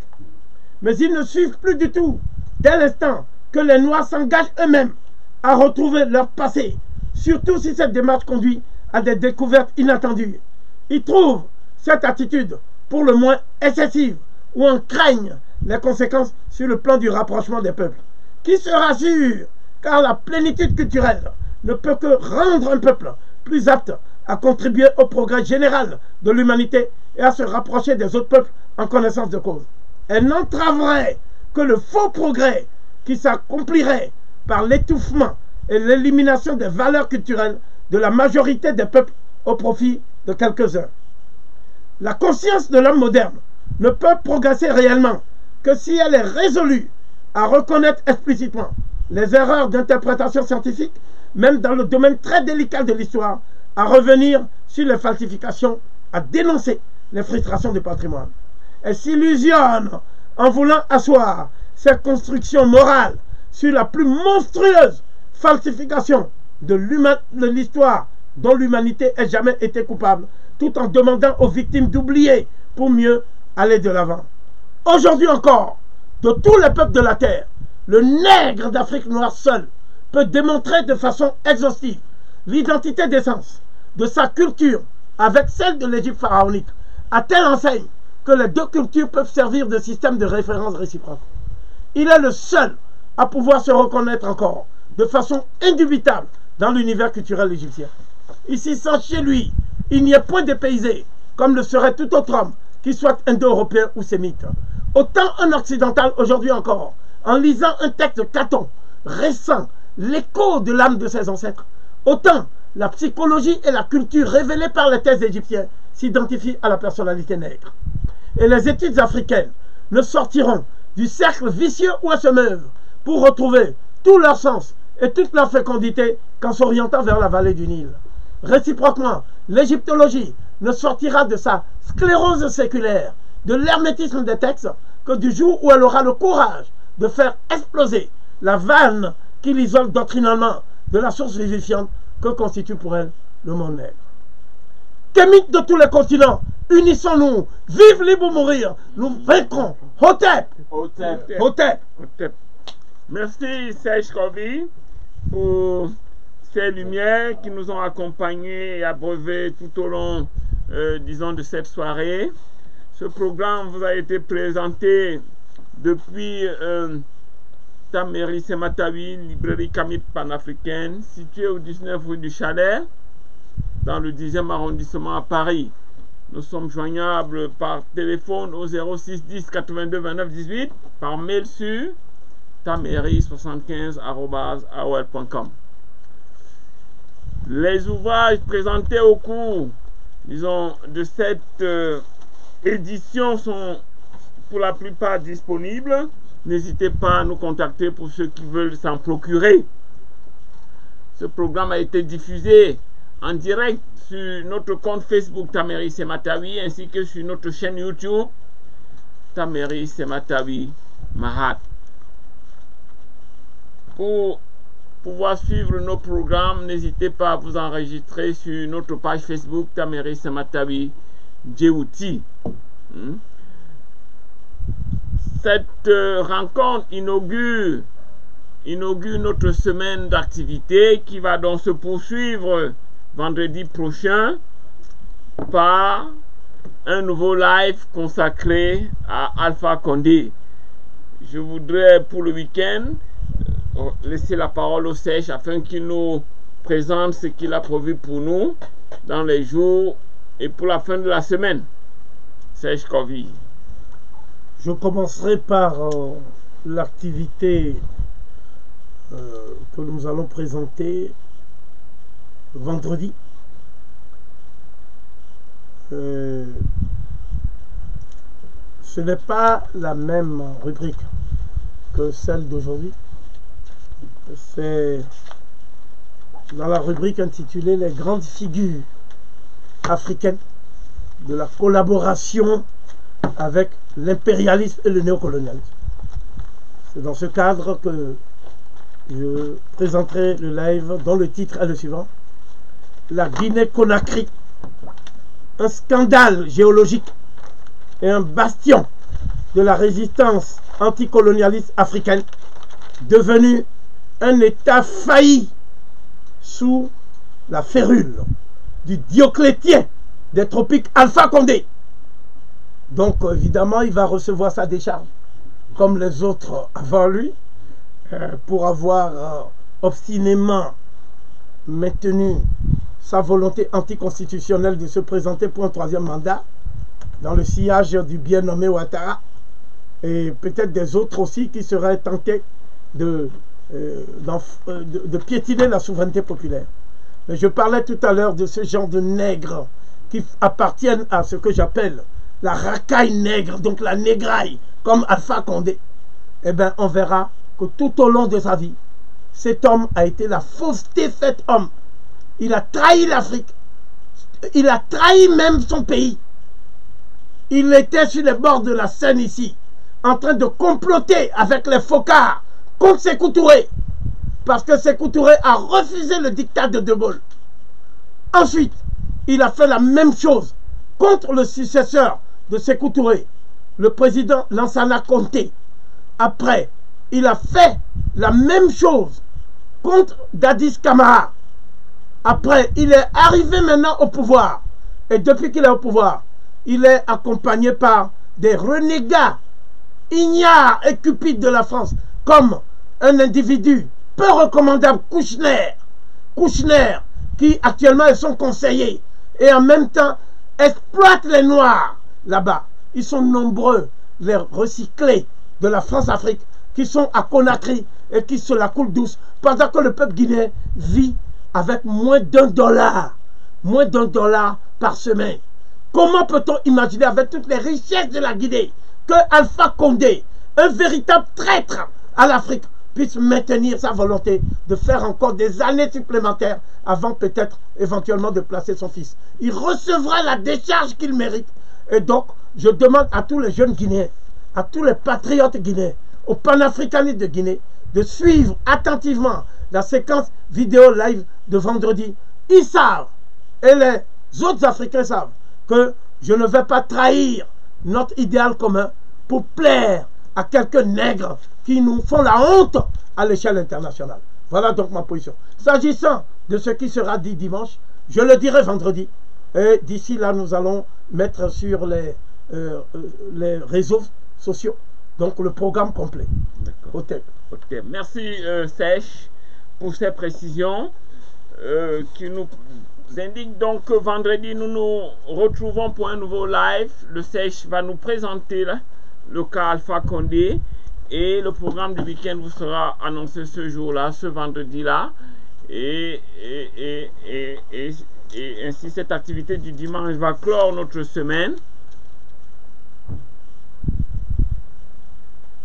Va clore notre, notre semaine d'activité.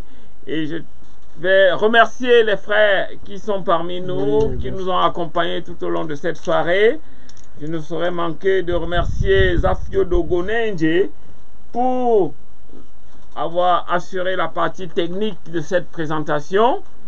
Et, je voudrais surtout remercier toutes les personnes qui nous suivent, qui nous expriment et manifestent leur soutien. Nous travaillons à être à, la hauteur de leurs attentes, hein, qui sont nombreuses. Et nous nous adaptons, nous évoluons, nous nous transformons pour être en mesure de vous apporter ce que vous êtes en droit d'attendre de, de nous.